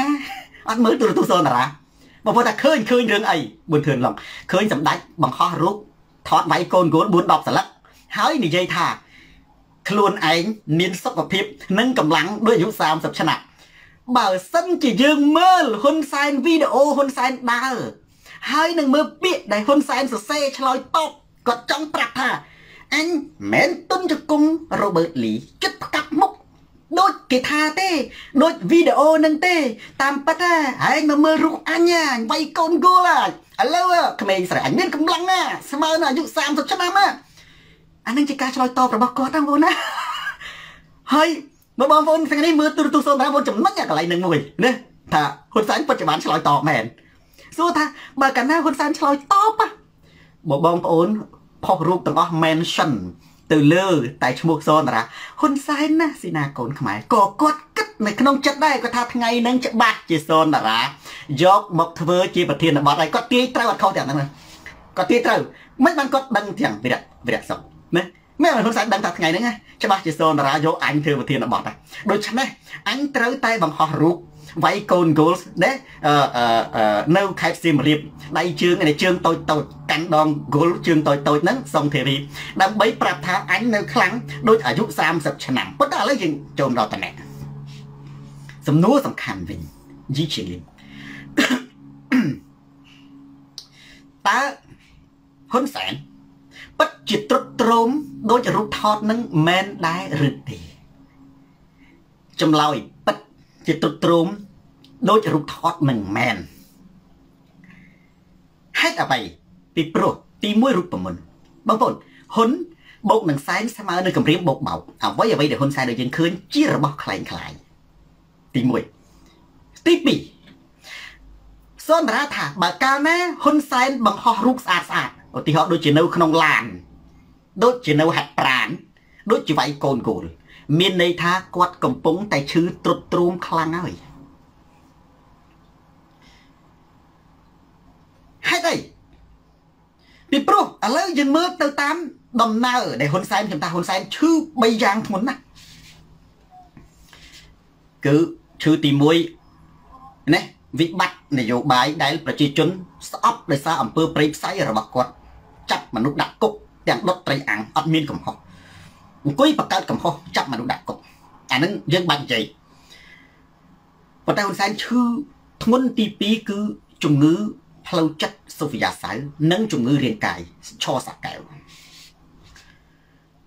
ជំងឺផ្លូវចិត្តអ្នកដែលមានជំងឺផ្លូវចិត្តគេឲ្យឈ្មោះថាសរសៃប្រសាទហ៊ុនសែនមើលតាមសម្ដីនិងទឹកមុខណា បើយោងតាមខ្ញុំជាអ្នកជំនាញផ្នែកទស្សនវិជ្ជាអ្នកជំនាញផ្នែកទស្សនវិជ្ជាវាមិនមែនខ្ញុំអត់ថាខ្ញុំជំនាញចិត្តវិជ្ជាទេព្រោះចិត្តវិជ្ជាជាមុខវិជ្ជាមួយដោយឡែកដែលផ្ដាច់ខ្លួនចេញពីទស្សនវិជ្ជានៅប្រហែលជា100ឆ្នាំមុននេះណាប៉ុន្តែទោះជាវាផ្ដាច់ខ្លួនចេញពីទស្សនវិជ្ជាក៏ដោយចិត្តវិជ្ជា នៅតែជាផ្នែកមួយធំនៅក្នុងមេរៀនទស្សនវិជ្ជាដដែលមានន័យថាបើអ្នករៀនទស្សនវិជ្ជាអ្នកនឹងគឺរៀនចិត្តវិជ្ជាដោយស្វ័យប្រវត្តិគ្រាន់តែវាអត់រៀនអំពីលក្ខណៈ ណាព្យាបាលមនុស្សលក្ខណៈអីដូចនេះដែលជំនាញរបស់គេព្យាបាលបែបចិត្តសាស្ត្របែបចិត្តវិទ្យានៅសិក្សាអំពីសរីរាង្គចិត្តរបស់មនុស្សរាងកាយប្រព័ន្ធនេះនឹងផ្សេងផ្សេងហ្នឹងគឺអត់ទេ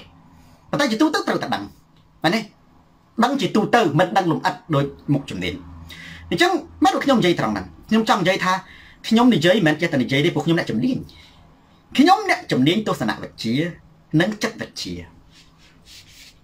ចិត្តវិទ្យាមិនមែនជាជំនាញមុតស្រួលទេប៉ុន្តែទស្សនវិជ្ជាវាគ្របដណ្ដប់នៅក្នុងហ្នឹងហ៊ុនសែនមកវិញជឿសូនរាខុសទេសូរិយាស្រីគឺជាមនុស្សសរសៃប្រសាទនៅក្នុងជំងឺសរសៃប្រសាទវាមានកម្រិតរបស់វាឧទាហរណ៍គេកម្រិតវាពីពី1ដល់7ពី1ដល់7ឧទាហរណ៍ មនុស្សបើមានកម្រិតហើយគេកម្រិតវាទៀតឧទាហរណ៍ពី1ដល់7ហ្នឹងបើសិនជាអ្នកនឹងមានកម្រិតត្រឹម4អាហ្នឹងអត់អីទេត្រឹមតែអ្នកនឹងមានវិបដិសារីមានការប៉ះទង្គិចផ្លូវអារម្មណ៍ច្រើនពេកគ្រាន់តែជាប្រកក្រដីគ្រាន់តែគាត់មានបញ្ហាផ្លូវចិត្តឆាប់ពីគ្រោះឬក៏នៅម្នាក់ឯងត្រូវមានមិត្តភ័ក្តិបើអ្នកនឹងនៅតែឯងទេកំនៅ single ត្រូវរកគូជជែកគ្នាលេងបើថាមិនអញ្ចឹងទេម៉េចម៉ោង3ម៉ោង4ភ្លឺអត់តដេកទេមើលឃើញចំណែងតែរូបថតគេហ្នឹង អាហ្នឹងវាខ្ញុំនិយាយលេងទេប៉ុន្តែវាអាចពិតនៅក្នុងដែរពូសវណ្ណណាហ្នឹងណាអញ្ចឹងបើឧទាហរណ៍ថាកម្រិត4ណាវានៅជាមនុស្សអន់ចិត្តសក្រវ៉ាអែមវានៅជាមនុស្សរវើរវាយវានៅជាមនុស្សតូចចិត្តវានៅជាមនុស្សអង្គុយចំណែនរូបថតគេវានៅជាមនុស្សបើថា drama ច្រើនអាហ្នឹងអាចព្យាបាលបានព្យាបាលបានតាមរយៈឧទាហរណ៍ថាបើអាហ្នឹងឯកកោរកដៃគូលែងឯកកោហើយបើអាហ្នឹងមិនសុខចិត្តដើរទៅលេងមាត់សមុទ្រដើរទៅអីទៅការងារ stress ច្រើនពេក ណាវាអាចមកពីការងារវាអាចមកពីសម្ពាធគ្រួសារវាអាចមកពីសម្ពាធអត់ការងារអា stress វាមានអា stress នឹងមានការងារនិងអា stress អត់ការងារគឺ stress ដែរប៉ុន្តែអា stress មានការងារ stress ដោះស្រាយបានបើអា stress អត់ការងារចងកច្រើនណាស់អញ្ចឹង stress មានគ្រប់ទីកន្លែងទាំងអស់អានឹងឧទាហរណ៍ថាកម្រិត4ហ៊ុនសែនឆែមស៊ីណាគាត់អាចចូលដល់កម្រិត5ទៅ6កម្រិត5ទៅ6មានន័យថាចិត្តឈួតមកបងណា ហើយមនុស្សដែលមានកម្រិតឧទាហរណ៍តែនេះខ្ញុំឧទាហរណ៍ទេខ្ញុំមិនដឹងថាអ្នកចិត្តវិទ្យាវិទ្យាសាស្ត្រចិត្តវិទ្យាហ្នឹងគេបែងចែកកម្រិតណានេះខ្ញុំគាត់ឧទាហរណ៍ហ៊ុនសែនអាចថាលើសឧទាហរណ៍ថាលើសពី4ណាបើថាមាន7ហ្នឹងគាត់ចូលដល់5 6តើគេអាចសម្គាល់អាការៈមនុស្សដែលមានជំងឺរោគចិត្តតាមរបៀបណាគេអាចសម្គាល់អាការៈមនុស្សដែលមានជំងឺរោគចិត្តច្រើនយ៉ាងណាស់បងប្អូនឧទាហរណ៍ថាដូចជាសគុតសគុំនៅម្នាក់ឯងអាហ្នឹងខ្ញុំអត់បាច់បរិញ្ញានេះច្រើនទេ ព្រោះអាហ្នឹងវាមិនមែនជាមុខវិជ្ជាទៅរៀនមែននិយាយឲ្យចំតែម្ដងគឺនៅក្នុងចំណោមជាច្រើន គឺវ៉ាន់ពិរមមនុស្សដែលងាយប្រតិកម្មនិងខឹងច្រឡោតយើងក៏ដឹងទៅខ្លួនឯងដែរមិនមែនតែហ៊ុនសែនទេតាណាក៏ដោយនៅក្នុងនេះបើកណាដឹងថាយើងនឹងងាយប្រតិកម្មងាយឆាប់ខឹងងាយឆាប់ច្រឡោតអានឹងយើងត្រូវដឹងថាគុណភាពផ្លូវចិត្តយើងធ្លាក់ចុះហើយយើងមិនដល់ថ្នាក់នេះអានិសាលូណាមិនដល់ថ្នាក់នេះទេឈួតទេម៉ានេះ ណានេះប៉ុន្តែត្រូវដឹងថាគុណភាពផ្លូវចិត្តយើងធ្លាក់ចុះហើយយើងមានវិបត្តិផ្លូវចិត្តនៅក្នុងនឹងមានហើយសារភាពស្រុកនេះគេឲ្យលាក់ឯងមិនមែនស្រុកនេះការពិតមកពីយើងខ្លាចខ្មាស់គេតែយើងយើងលាក់តាប៉ុន្តែនៅដូចជាសំបីតែនៅស្រុកបារាំងស្រុកនេះដែរពេទ្យក៏ដែរវិជ្ជមរិទ្ធក៏ដែរប្រធានបតីក៏ដែរពេលដែលគេមានបញ្ហាស្មុគស្មាញគេអាចទៅរកគ្រូពេទ្យឬក៏អ្នកពីគ្រូច្បល់បានតែផ្លូវចិត្តផ្នែកចិត្តសាស្ត្រណាអញ្ចឹងខ្ញុំនិយាយនេះមិនសំដៅតែលើហ៊ុនសែនមួយរូបទេសូម្បីតែយើងក៏ដោយបើកាលណាយើងឆាប់ច្រឡោត នេះយើងឆាប់ខំយើងឆាប់ម៉ូម៉ៅអានឹងបញ្ជាក់ថាយើងមានបញ្ហាផ្លូវចិត្តយើងមានណានេះកុំអៀនបើយើងមិនហ៊ានប្រាប់គេក៏យើងប្រាប់ខ្លួនឯងដែរថាអូស្ដាប់លោកគ្រូសនតារាឲ្យតែខ្នាពីមុនអត់ដែរអញ្ចឹងឥឡូវដូចឆាប់ឆេវឆាវឆាប់ខឹងឆាប់ច្រឡោតឆាប់ភ្លេចភ្លាំងមិននេះស្អីបន្តិចខឹងអត់ហេតុផលអាហ្នឹងបើយើងមិនខ្លាចខ្មាស់គេមិនហ៊ានប្រាប់គេប្រាប់តែខ្លួនឯងទៅថាអូគ្រូសូនតារាគាត់ថាអាហ្នឹងមានបញ្ហារោគចិត្តណាបើមានហើយចឹងយើងព្យាបាលខ្លួនឯងព្យាបាលខ្លួនឯងអាហ្នឹងងាយទេមកនេះតាមរយៈយើង កាត់បន្ថយយើងមុននឹងយើងប្រតិកម្មមួយមួយគឺយើងត្រូវស្ងប់អារម្មណ៍យើងត្រូវរក្សាវិធីសាស្ត្រផ្សេងផ្សេងទៅដូចជាសមាធិដូចជាស្ដាប់ចម្រៀងដូចគេកុំប្រកាន់ដូចគេកុំមើលរឿងអវិជ្ជមានច្រើនពេកណាអីផ្សេងផ្សេងចឹងទៅអាហ្នឹងមុនព្រោះឥឡូវហ៊ុនសែនយើងត្រឡប់មកវិញតើចំណុចសម្គាល់ហ៊ុនសែនមាននេះមានតែមួយហ្នឹងគឺមានហ្មងហ៊ុនសែនគឺជាមនុស្សដែលច្រឡោតខោវិរៈភាពសំរងស៊ីមនុស្សច្រឡោតមនុស្សឆាប់ខឹងឆេវឆាវប្រតិកម្មអារម្មណ៍លឿនណា នេះប្រតិកម្មអារម្មណ៍លឿនណាហើយមនុស្សហ៊ុនសែនណាឆាប់ប្រតិកម្មអារម្មណ៍ហើយឆាប់បាត់អារម្មណ៍របស់គាត់មនុស្សនៅពេលណាដែលមានសភាពផ្លូវចិត្តរោគចិត្តដូចហ៊ុនសែនណាអាលីស៊ូគឺឆាប់ប្រតិកម្មឆាប់បាត់ប៉ុន្តែមានចំណុចមួយគុំគួនអារឿងខ្លះឆាប់ប្រតិកម្មឆាប់បាត់ឆាប់បាត់ចឹងទៅប្រតិកម្មខឹងទៅហើយក៏បាត់ទៅវិញទៅប៉ុន្តែរឿងខ្លះប្រតិកម្មហើយនៅគុំគួនក្នុងចិត្តតបៅប៉ូឡាគី អានេះគេហៅដំបៅដំបៅក្នុងចិត្តទៅដូចតែគាត់ខឹងសំស៊ីគាត់ជាដំបៅខឹងសំស៊ីដំបៅដំបៅមើលនេះតែមិនទេដូចជាមហារាជមហារាជចិត្តអានេះអាដំបៅដួងចិត្តដំបៅចិត្តអាដំបៅចិត្តគាត់ខឹងសំរងស៊ីឧទាហរណ៍ទេបើសិនជាអ្នកដតីទៀតគាត់ខឹងអ្នកដតីអត់ដំបៅទេវាគ្រាន់តែដូចផ្ទះកាភ្លៀងឬក្តាច់ទេមានន័យថាម៉េចបើបងប្អូនស្បែកមុខបើបងប្អូនមួលឬក្តាច់បងប្អូនឈឺតែពេលក្តាច់នៅពេលដែលដកដៃទៅអាហ្នឹងវាអត់អីអត់មានរបួសទេប៉ុន្តែបើតបៅមុនតបៅឈឺរហូត តបៅគឺឈឺរហូតមែនទេឈឺរហូតប៉ាក់ឈឺប៉ាក់ឈឺប៉ាក់ឈឺមែនទេបើថាយើងស្បែកមុខយើងយកថាយើងយើងដៃយើងយើងដាល់បៅសាក់ឬក៏យើងហាត់ប្រានយើងលេងអីចឹងទៅវាអត់ងាយវាឈឺអាដំបូងយើងហាត់ប្រានយូរទៅវាស្វាន់ដល់អីប៉ុន្តែបើតបៅឈឺហ៊ុនសែនក៏មានតបៅចិត្តមួយគឺគាត់ខ្លាចសំរងស៊ីគាត់ខ្លាចនេះបារមីសំរងស៊ីបារមីនឹងយើងនិយាយទៅបារមីគេថាអំណាចគុណធម៌មិនមែនបារមីខ្មោចចូលទេណាពាក្យថាបារមីមានន័យថាអំណាចឬគុណធម៌ នេះបារមីទានអំណាចនៃនៃការធ្វើទាននេះបារមីបញ្ញាអំណាចនៃបញ្ញា បញ្ញាគឺជាអំណាចណាបងប្អូនមែនទេអអញ្ចឹងទៅអញ្ចឹងហ៊ុនសែនគាត់មានជំងឺធំមួយគឺខ្លាចបារមីសំរងស៊ីដល់តែពេលខ្លាចបារមីសំស៊ីអាសេចក្តីភ័យខ្លាចរបស់គាត់វាខ្លាយទៅជាដំបៅផ្លូវចិត្តដល់តែពេលដំបៅផ្លូវចិត្តអ្នកណានិយាយគាត់សឹកគាត់សឹកខឹងដែរប៉ុន្តែបើឲ្យសំរងស៊ីក្អកទៅមកខុសក៏ហ៊ុនសែនប្រកាច់ រើជួនកាលគាត់មើលមើលទៅបើកចំ Facebook ហ្នឹងសំរងស៊ីក្អកមកខុសសំស៊ីគាត់ក្អកទេគាត់ច្រឡំគាត់ក្អកឈីចឹងទៅគាត់នៅក្អកហ្នឹងលឺដូចសំឡេងសែនលឺបន្តិចចឹងណាសែនហ្នឹងហ៊ុនសែននោះរកឆ្នាំភ្លាមទាញថតតុកមកម៉ែវាមិន ណែម៉ោង2ហើយឪវាអត់ទាន់សម្រានទេអត់ទេអញងើបរកឆ្នាំដែរមិនចឹងមិនមើលនេះសំរងស៊ីបង្ហោះនៅលើទំព័រ Facebook ដាក់រូបម៉ែវាឯងអញមានចកោមែអាអាមិនចឹងមិនមិនជាម៉ែវាបើមិនបានឆ្នាំទេស្អែកអញទៅសៀមរាបមិនបានទេឥឡូវធ្វើមិនដាក់ឆ្នាំមកមែនម៉ែវាទាញឆ្នាំមកឆ្នាំអីឆ្នាំរងាប់អារម្មណ៍ឆ្នាំរងាប់អារម្មណ៍មិនគ្រប់ពេលម៉ែវាឆ្នាំអីឆ្នាំញៀនឆ្នាំញៀនមិនឪវាអញរាល់ថ្ងៃបើអត់មានឆ្នាំនឹងអញដើររួចទេអញភ្លេចអស់លីងណា សូម្បីថ្ងៃមុនចៅមកអញសួរពីណាគេហ៊ុនសែនគាត់ចឹងហើយគាត់បញ្យល់ប្រាប់កូនចៅគាត់សូម្បីមុនអញសួរថាពីណាគេនឹងហេអចុះឪឯងនិយាយមុនហ្នឹងមិននិយាយលេងទេចកាប្រិយពុននិយាយប៉ាវាឯងឪវាឯងនិយាយលេងអញភ្លេចមែនណាហើយចុះម៉ែវាដែរឃើញអញនិយាយមួយកម្មករឯងអើដែលឃើញតើរឿងអីអញទៅកម្មករកម្មករនិយាយដាក់មេក្រូអាមេក្រូបាសពេញនៅនៅណែកោះពេជ្រធម្មតាកម្មករនិយាយដាក់មេក្រូទៅសួរនេះអាយុប្រហែលហើយគេថា25ហ៎ ហើយវាថាម៉េចហ៎ថាម៉េចមានអាអ្នកខ្សឹបអាលឺអាគេនិយាយដាក់មេក្រូលឺទេទៅជាលឺអាអ្នកអត់ដាក់មេក្រូនៅជុំវិញ25សម្ដេចអើ25ហើយឯងប្រាក់ខែប្រហែលហើយមែនទេហើយប្រាក់ខែប្រហែលអូនសាក់ព្រៃហ៊ុនសែនគាត់និយាយព្រៃកន្លែងគេថា1000ហ៎ថាម៉េចឃើញទេគេថា1000សម្ដេចអើ1000 1000ណាម្នាក់ហ្នឹងប្រាក់ខែកម្មករអត់កម្មករគោកហ្នឹងណាអញ្ចឹងបងប្អូនហ៊ុនសែនណាគឺ ដែលនិមិត្តសញ្ញានិមិត្តសញ្ញាមួយដែលហ៊ុនសែនមានជំងឺមួយខ្ញុំនិយាយរំលឹកម្ដងទៀតគឺជំងឺសរសៃប្រសាទហ៊ុនសែនមានជំងឺរោគចិត្តកម្រិតធ្ងន់ណាស់នៅតែវិញទេហើយជំងឺរោគចិត្តកម្រិតធ្ងន់នេះណាត្រូវតែប្រើថ្នាំ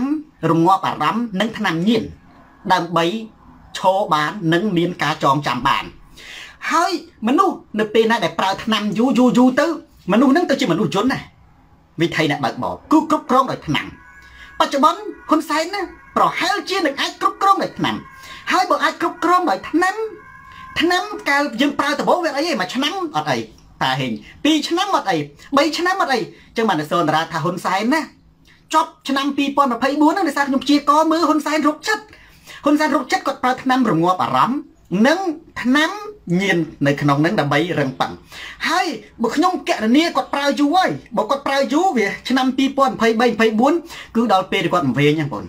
ដល់ពេលគាត់វែងហើយដូចគាត់ជួនកាលគាត់នេះណាដែលយប់ឡើងមកនឹងខ្មែរយើងចេះចាស់ចាស់គាត់ថាវែងស៊ីលិមុខខ្លួនឯងណាសម្ដេចបើនៅដល់ប៉ុណ្្នឹងអាចចាញ់ហើយរឿងពីររឿងពីរដែលជាផុសតាងមួយបញ្ជាក់ច្បាស់អសរិសការីយ៉ាថាហ៊ុនសែនមានរោគចិត្តគឺទី1គឺនេះអារម្មណ៍ទឹកមុខរបស់គាត់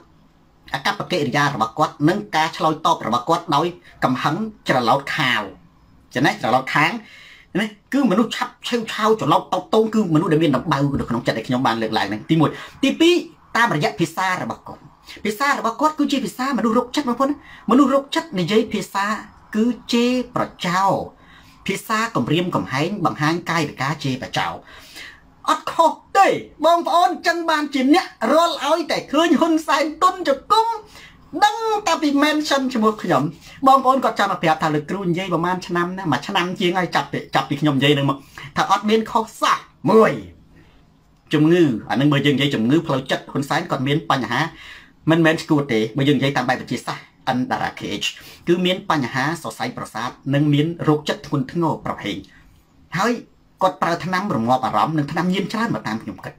ថ្នាំញៀនខ្ញុំមិនដឹងទេតែជាគាត់អាចប្រើដើម្បីជំនួយកម្លាំងខ្ញុំថាគាត់អាចប្រើប៉ុន្តែបើថ្នាំរងាប់អារម្មណ៍ថ្នាំសរសៃប្រសាទដាច់ខាតសម្ដេចអគ្គមហាសេនាបតីតេជោហ៊ុនសែនប្រើ100%ខ្ញុំសូនតារាអ្នកជំនាញទស្សនវិជ្ជាចិត្តវិទ្យាខ្ញុំនិយាយជាសម្ដីពិតសម្ដេចប្រើទី2ជំងឺរាងកាយរបស់គាត់បងប្អូនជំងឺរាងកាយរបស់ហ៊ុនសែនណាជាងចប់ បើបងប្អូនអត់មើលអីមើលតែមួយបានហើយគឺហ៊ុនសែនមិនដែលឬក៏កម្រហ៊ានបង្ហោះវីដេអូណាស់បង្ហោះតែរូបបងប្អូនបើកាលណាបងប្អូនមើលវីដេអូសម្ដេចខ្មៅញូញ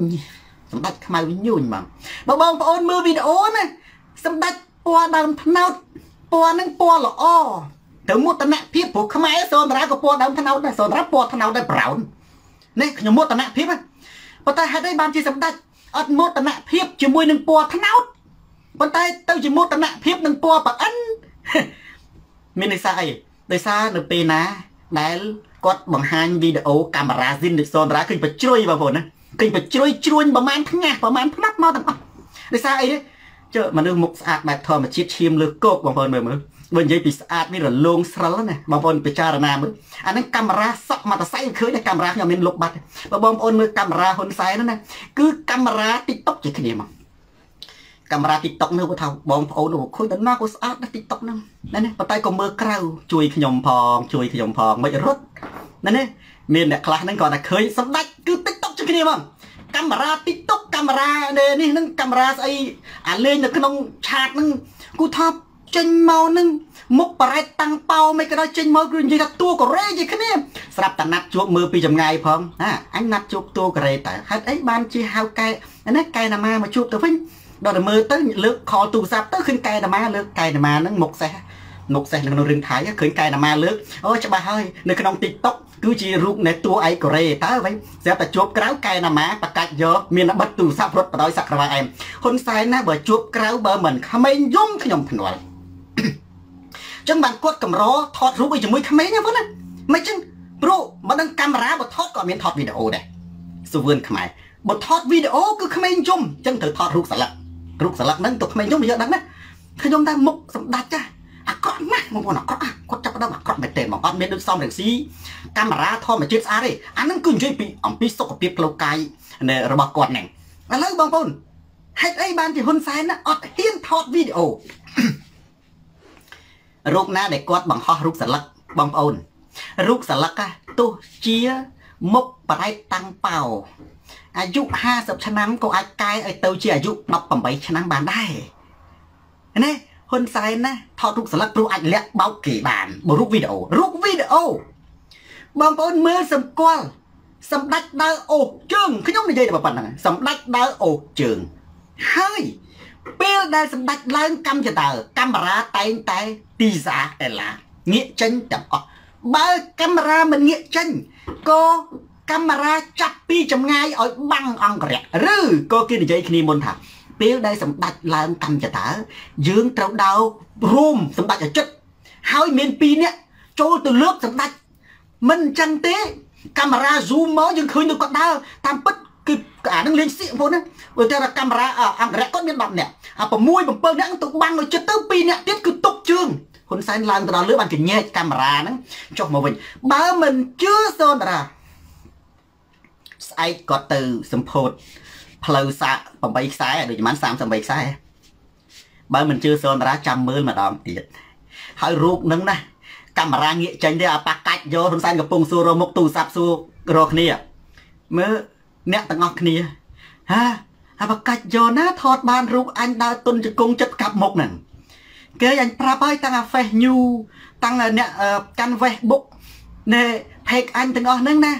កាមេរ៉ាយើងមានអាកាមេរ៉ា Fresh New កាមេរ៉ា Facebook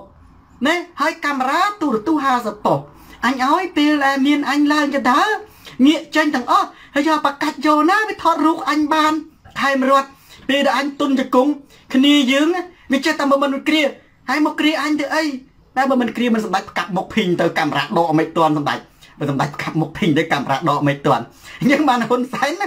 ឥឡូវនេះខ្ញុំគិតថារឿងការងារសំខាន់ណាមិនមែនការងារសម្ពោធប្រមាណទេព្រោះអាសម្ពោធនឹងរឿងធម្មតាផ្លូវវាមានណាការងារសំខាន់គឺសួររមុខអាបកាច់យកណាណាដែលកាន់ Facebook ទំព័រអី មកថតចំអញដើរទុនជង្គង់ចង់កាប់មុខដួលអញខំតែកិច្ចតែពីសូនារាហ្នឹងមែនទេឲ្យតែចឹងដឹងតែថ្ងៃនេះប្រធានបទក្តៅពុះក៏ជ្រុលសូនារាលើកជើងមកនិយាយទៅអញខំដាក់តនេះស្មើអាយុ30ឆ្នាំឯងរូបវាយកូនគោលចម្លើយបងប្អូនសម្ដេចតែងតែដើរអូសជើងជានិច្ចហើយសម្ដេចតែងតែដើរកវីជានិច្ចអត់ត្រង់ផ្លូវទេបងប្អូនចាំសម្គាល់ណា សម្ដេចនឹងដើរអូសជើងមកចំហៀងទី1ទី2សម្ដេចនឹងដើរកវីរេរ៉ូសឺពេចអត់ត្រង់ទី3ពេលសម្ដេចឡើងកម្មចដើកាមេរ៉ានឹងងាកចេញអាកាមេរ៉ាបកាច់យកណាថតបានអានឹងជារឿងផ្សេងបើកាមេរ៉ាមិនងាកចេញកាមេរ៉ានឹងចាប់ប្លង់ទលាយហើយអង្គរៈទៅរួមចិត្តតាមពិតគេបាំងមានមនុស្សម្នាក់ពីរនាក់ទៅសែងគាត់ឡើងលើវេទិកាដើម្បីបញ្ជាក់ ថាអ្វីដែលសូនរានិយាយខុសសួងឈៀនឬក៏ត្រូវស្អែកនឹងឥឡូវយប់នៅកម្ពុជាបងប្អូនគុំដាក់ភ្នែកឲ្យសោះមើលពីដើមដល់ចប់ណែ The Chatter Hunter មើលទៅលើដំណើររបស់សម្ដេចយប់នេះសូនរានិយាយថាសម្ដេចពេលដែលដើរគឺអូសជើងមកចំហៀងទី1ទី2រេចឹងក៏ដើររេចឹងទៅអត់ត្រង់ផ្លូវដូចគេទេបាទក៏ដើររេទី3វ៉ាន់ស្រេង ពេលឡើងកម្មចដាលនឹងងាកកាមេរ៉ាចេញឬក៏ចាប់ប្លង់ទលាយឃើញមនុស្សជុំជុំស្អែកម៉ោង7អម៉ោង8ម៉ោង9ព្រឹកសម្ដេចនៅសៀមរាបនឹងទៅសម្ពោធចូលតាមដានវីដេអូក៏មើលរូបថតមករូបថតនឹងមនុស្សអាយុ20មក80ឆ្នាំមកធ្វើ20ឆ្នាំក៏បានដែរចូលបងប្អូនតាមមើលវីដេអូនឹងឲ្យជាប់ហើយចាំកាត់អាខ្លីៗកន្លែងណាដែលសម្ដេចអូសជើងកាត់មួយកន្លែងណាដែលសម្ដេចដើររេអញ្ចឹង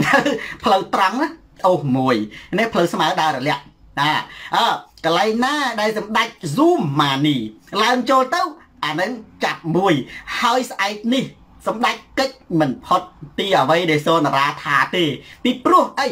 បើសម្ដេចកិច្ចផុតគឺសូនរាថាខុសមានន័យថាជ្រីខ្មែរ Democrat សម្ដេចសុខភាពដូច30ឆ្នាំគាត់ថាមែន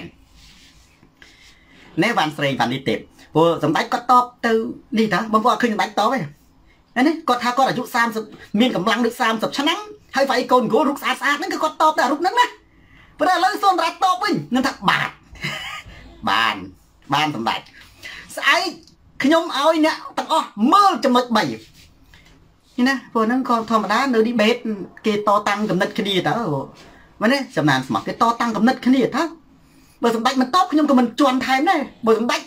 គេថាសម្ដេចទ្រុបទ្រំដូចត្រីនៅក្នុងត្រីក្រៀមនៅក្នុងទ្រុង សម្ដេចដើរត្រៀតសម្ដេចតតែគេសែងឡើងឆាក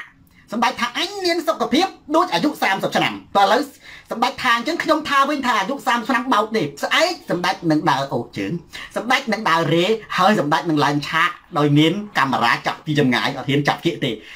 បើសម្ដេចបកែស្អែកនឹងធ្វើឲ្យខុសពីសូនរាថានោះមានន័យថាសម្ដេចពិតជាដូចរូបថតវាយកូនគោលអាយុ30ឆ្នាំមែន បើមិនអញ្ចឹងទេហ៊ុនសែនដើរលើបាតដៃសូនតារាហហើយរាល់សកម្មភាពរបស់ហ៊ុនសែនទាំងអស់អ្នកណាក៏ត្រូវតែមែនចិនឈ្មោះសនរាដែរគឺមានអ្នកខ្លះគេថាលើកគ្រូហ៊ុនសែននៅអ៊ូខុងណាសនរាណាអូនីកាពុកគ្រីស្ទីណាប៉ុលដូចព្រះយូឡាយអញ្ចឹងតែហ៊ុនសែនប្រឹងហោះទៅណាប្រឹងនោមយ៉ាងណាក៏ដោយក៏វានៅតែលើបាតដៃសនរាដដែលផលផលព្រៃចមិត share វីដេអូនេះទៅកាន់ប្រិយមិត្តដទៃទៀតទូរទស្សន៍សនតារា ស្រាតខោជន់ផ្ដាច់ការផ្លាស់ប្ដូរផ្នត់គំនិត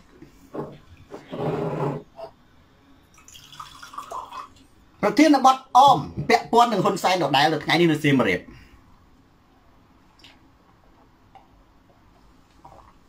កិច្ចឲ្យផុតសម្ដេចចាំមើលថ្ងៃស្អែកនឹងអាយុ30ឆ្នាំ ឬដើរអូសជើងដើររេឡើងកម្មយដាឡើងអត់រួច អេខ្ញុំចូលចិត្តឯតើអញ្ចឹងពូរៀម KH បានឃើញសម្បត្តិកសេអញ្ចឹងមកបានប្រធានបទមួយល្អដូចគាត់ដូចឲ្យស្ទល់រារំលឹកឡើងវិញអញ្ចឹងបងប្អូនចាំមើលដល់គ្នាស្អែកបាទស្អែកហើយកិច្ចឲ្យកិច្ចឲ្យកិច្ចនិយាយមុនឲ្យកិច្ចទៀតបាទរឿងគាត់ប្រាប់អ្នកវិភាគថាគាត់មកធ្វើពលានយន្តហោះលើកម្ពុជាថ្មីនៅសៀមរាបនេះណាសូមផ្ដាំកុំឲ្យ ថាអ្នកវិភាគហ្នឹងផ្សេងផ្សេងស្អស្អាស្អីស្អីហ្នឹងថាគាត់នឹងបង្កើតពលានយន្តហោះយោធាចិនដើម្បីណាដាក់ឲ្យកងទ័ពចិនចន្ទថាគួយបងប្អូនដូចជាអត់ដែលលឺអ្នកណាថាទេប្រធានបទអមនេះខ្ញុំគាត់ចង់ចង់និយាយខ្លីណាខ្ញុំចង់ចាញ់ទៅវិញទេមកយើងត្រូវតែចាញ់យើងត្រូវតែបំភ្លឺវិញបងប្អូនមានដែលឃើញពីណាដែលនិយាយថាពលានយន្តហោះនៅសៀមរាបហ្នឹងគឺជាពលានជាមូលដ្ឋានតបចិនទេបាត់ដែលលឺមែនទេ គេមិនស្គួតទេកណ្ដាលសមុទ្របើនៅបើនៅកំពង់សោមមែនប្រែហ៊ុនសែនគាត់ថាកម្ពុជាមិនមែនជាកន្លែងដាក់ទ័ពបរទេសទេគឺជាកន្លែងដែលទទួលភ្ញៀវទេសចរត្រូវទស្សនៈខ្ញុំគាត់ត្រូវប៉ុន្តែទេសចរល្អហ្មងជនជាតិអីក៏ដោយទេសចរគឺល្អទេសចរមានន័យថាអ្នកហ្នឹងមកមួយសប្តាហ៍ពីរសប្តាហ៍មួយខែពីរខែត្រូវត្រឡប់ទៅប្រទេសវិញហើយវិលជុំពេលហ្នឹងសេដ្ឋកិច្ចប្រទេសជឿនលឿននៅលើពិភពលោកយើងនេះណា ទេសចរប្រទេសខ្លះរួមទេសចរបងប្អូនណាដូចជាប្រទេសថៃសេដ្ឋកិច្ចឧស្សាហកម្មមិនប្រមាណទេប្រទេសទេសចរហើយបងប្អូនទេសចរដូចទេសចរនាំលុយខ្ញុំមិនបាច់និយាយច្រើននេះឧទាហរណ៍ដូចជាខ្មែរយើងនៅបារាំងនៅអាមេរិកខ្មែរយើងនៅបារាំងនៅអាមេរិកសួរថាអ្នកអាមេរិកទៅលេងនៅស្រុកខ្មែរម្ដងបើមិនចាយមិនក្រោម10000ដុល្លារទេបងប្អូនពួកទេសចរខ្លះចាយលុយតិចជាងខ្មែរមែនខ្លះច្រើនខ្មែរយើងទៅពីបារាំងទៅទៅពីអាមេរិកទៅនេះ ទៅ10000មកវិញដាច់បាត់នៅសល់តែសបុតយន្តហោះហើយនឹងវ៉ាលីអូសឡើងយន្តហោះមកដល់នេះធ្វើការទៀតខ្ញុំនិយាយនឹងគឺអត់ខុសទេសម្រាប់គេអ្នកមានគឺមានសម្រាប់គ្នាអ្នកក្រអ្នកទៅខ្មែរអ្នកទៅលេងស្រុកខ្មែរមាន10000ដាច់10000មាន20000ដាច់20000មាន30000ដាច់30000មាន40000ដាច់40000មែនទេខ្ញុំឲ្យយើងមកថាប្រយ័ត្នប្រយែងបន្តិចប្រយ័ត្នប្រយែងនឹងថាខ្ញុំអាណិតបងប្អូនយើងអ្នកខ្លះនៅស្រុកខ្មែរតែឃើញបងប្អូនយើងទៅពីក្រៅប្រទេសទៅណាបាទ គិតតែពីថាអូបែបសម្បើមហេវាមិនទេគ្នាវាមានជីវភាពធូរធារឲ្យខាត់ត្រូវតែជាងអ្នកខ្មែរប៉ុន្តែយើងកុំកុំយឹតគ្នាពេកណានេះយឹតគ្នាពេកយឹតគ្នាឧទាហរណ៍ថាអូចុងពួកម៉ាអញមកពីអាមេរិកតោះហៅញ៉ាំបាយហៅញ៉ាំបាយទៅចូលជប់លៀងការ៉ាអូខេហៅពួកម៉ា20នាក់ទៅគ្នាវាមិនមាត់ទេបងប្អូនប៉ុន្តែវាមិនមានប្រមាណទេណា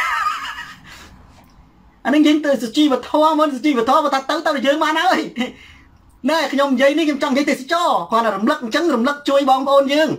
ជួយបងប្អូនយើងការពិតគ្នាមិនអត់ទេនៅស្រុកអាមេរិកស្រុកបារាំងអីគេមកវិញគេធ្វើការមួយថ្ងៃបានវិញហើយមែនទេប៉ុន្តែវាកម្រងគ្នាត្រូវយកលុយទៅចាយ3ខែបងប្អូនស្រាប់តែមិនបាន3ខែផងគ្នាបានតែប្រហែលគ្នាមិនហ៊ានប្រកែក ណាណាអូហៅគ្នាទៅអួតពួកម៉ាអញថាពួកម៉ាញមកពីបារាំងពួកម៉ាញមកពីអាមេរិកបើទៅលេងមកតុកយើងចង់ហៅគ្នាយើងមកមកតុកហ្នឹងតាមពិតត្រូវតែ2នាក់ទេលេងមក30នាក់បង30នាក់ផ្ទះដៃប្រាវផ្ទះដៃប្រាវសឿនថ្ងៃស្រាប់តែឃើញកតុយសបុតមកចិត្ត1000ដុល្លារអានឹងយើងគួរពិចារណាប៉ុន្តែខ្ញុំចង់និយាយថាបើប្រៀបធៀបអ្នកទេសចរខ្ញុំគ្រប់គ្រងសម្ដេចនិយាយត្រូវកន្លែងហ្នឹងហ៎សម្ដេចគាត់កន្លែងណាថាត្រូវថាត្រូវបាទខុសទេគឺសួរថាលោកគ្រូនិយាយអញ្ចឹងដូចជាគ្រប់គ្រងអត់ទេប្រយោជន៍ជាតិ គឺប្រយោជន៍ជាតិមិននាំទ័ពបរទេសចូលកម្ពុជាទេគឺនាំអ្នកទេសចរខ្ញុំឯកភាពដូចនៅកំពង់ខ្សោមហ្នឹងមិនមែនទេសចរគឺបើយោងតាមលោកប្រធានសមស៊ីហ៊ុនសែននាំចិន3ប្រភេទមកគឺពួកតាហ៊ានចិនពួកម៉ាហ្វយ៉ាចិន និងពួកអ្នកទោសចិនបើហ៊ុនសែននាំសម្រាមចិនមកក្រុងសៀមរាបហ៊ុនសែននាំចិនមកថ្ងៃណាបាត់ភ្ញៀវថ្ងៃហ្នឹងបងប្អូនមើលនៅកំពង់សោមបាត់ណានេះ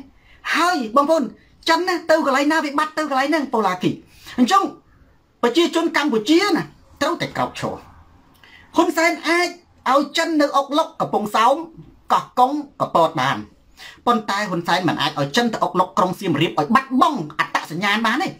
លេងសៀមរាបត្រូវតែជាអត្តសញ្ញាណខ្មែររូបចម្លាក់អីក៏ដោយអត់មានអក្សរចិនណែងចូលទៅច្រឡំទីក្រុងប៉េកាំងដូចនៅកំពង់សោមទេសៀមរាបខ្មែរ អ្នកឯងអាចឲ្យបាត់អត្តសញ្ញាណនៅកំពង់សោមនៅបានប៉ុន្តែសៀមរាបនីមួយមិនអាចបាត់ទេបើសៀមរាបបាត់អត្តសញ្ញាណខ្មែរដុតទងជាខ្មែរចោលមិនព្រោះសៀមរាបប្រាសាទអង្គរវត្តមានរូបថតនៅជាប់ទងជាតិដែលយើងគោរពទាំងអស់គ្នាសៀមរាបមិនអាចប៉ះពាល់បានទេប៉ុន្តែបើខ្ញុំនិយាយរឿងទេសចរគឺមិនខុសទេពួកទេសចរបងប្អូនណាទេសចរយកលុយទៅគប់ចំណេញច្រើនជាងយើងធ្វើអាជីវកម្មទៀតណា នេះបើករោងចក្រចំណេញដោយទេសចរបងប្អូនដឹងប្រទេសថៃមានដោយសារអីទេប្រទេសថៃខ្ញុំប្រាប់មានដោយសារទេសចរនឹងឯងណាប្រទេសបារាំងក៏ចឹងដែរប្រទេសបារាំងទេសចរបងប្អូនណានៅច្រើនជាងគេនៅក្នុងប្រទេសអឺរ៉ុបមួយឆ្នាំមួយឆ្នាំរាប់លានហើយទេសចរមកគឺឲ្យចាយលុយចាស់ស្ទីបាត់បងអញ្ចឹងចំណុចទៅនេះខ្ញុំ ឯកភាពមួយខ្ញុំថាមិនខុសទេត្រូវភាសាហ្នឹងប៉ុន្តែដាច់ខាតខ្ញុំប្រឆាំងទៅនឹងការបកគលក្រុងសៀមរាបទៅឲ្យចិនដូចនៅក្រុងកំពង់សោមគឺបើហ៊ុនសែនបកគលក្រុងសៀមរាបទៅឲ្យណែចិននៅកំពង់សោមហ៊ុនសែនជាសត្រូវសនរានឹងជាសត្រូវពលរដ្ឋលោកគ្រូមិនថាអញ្ចឹងខ្ញុំថាអញ្ចឹងខ្ញុំហ៊ានថាខ្ញុំថាអញ្ចឹងបើហ៊ុនសែនបកគលសៀមរាបឲ្យទៅចិនដោយកំពង់សោមណាហ៊ុនសែនជាសត្រូវសនរានិងជាសត្រូវពលរដ្ឋ ខ្ញុំប្រកាសសត្រូវជាមួយហ៊ុនសែនមិនបាត់បង់អត្តសញ្ញាណជាតិគ្រូមិនថាខ្ញុំហ៊ានថាអត់មានអីប្របាក់មែនទេអត់អីទេខ្ញុំហ៊ានថាអញ្ចឹង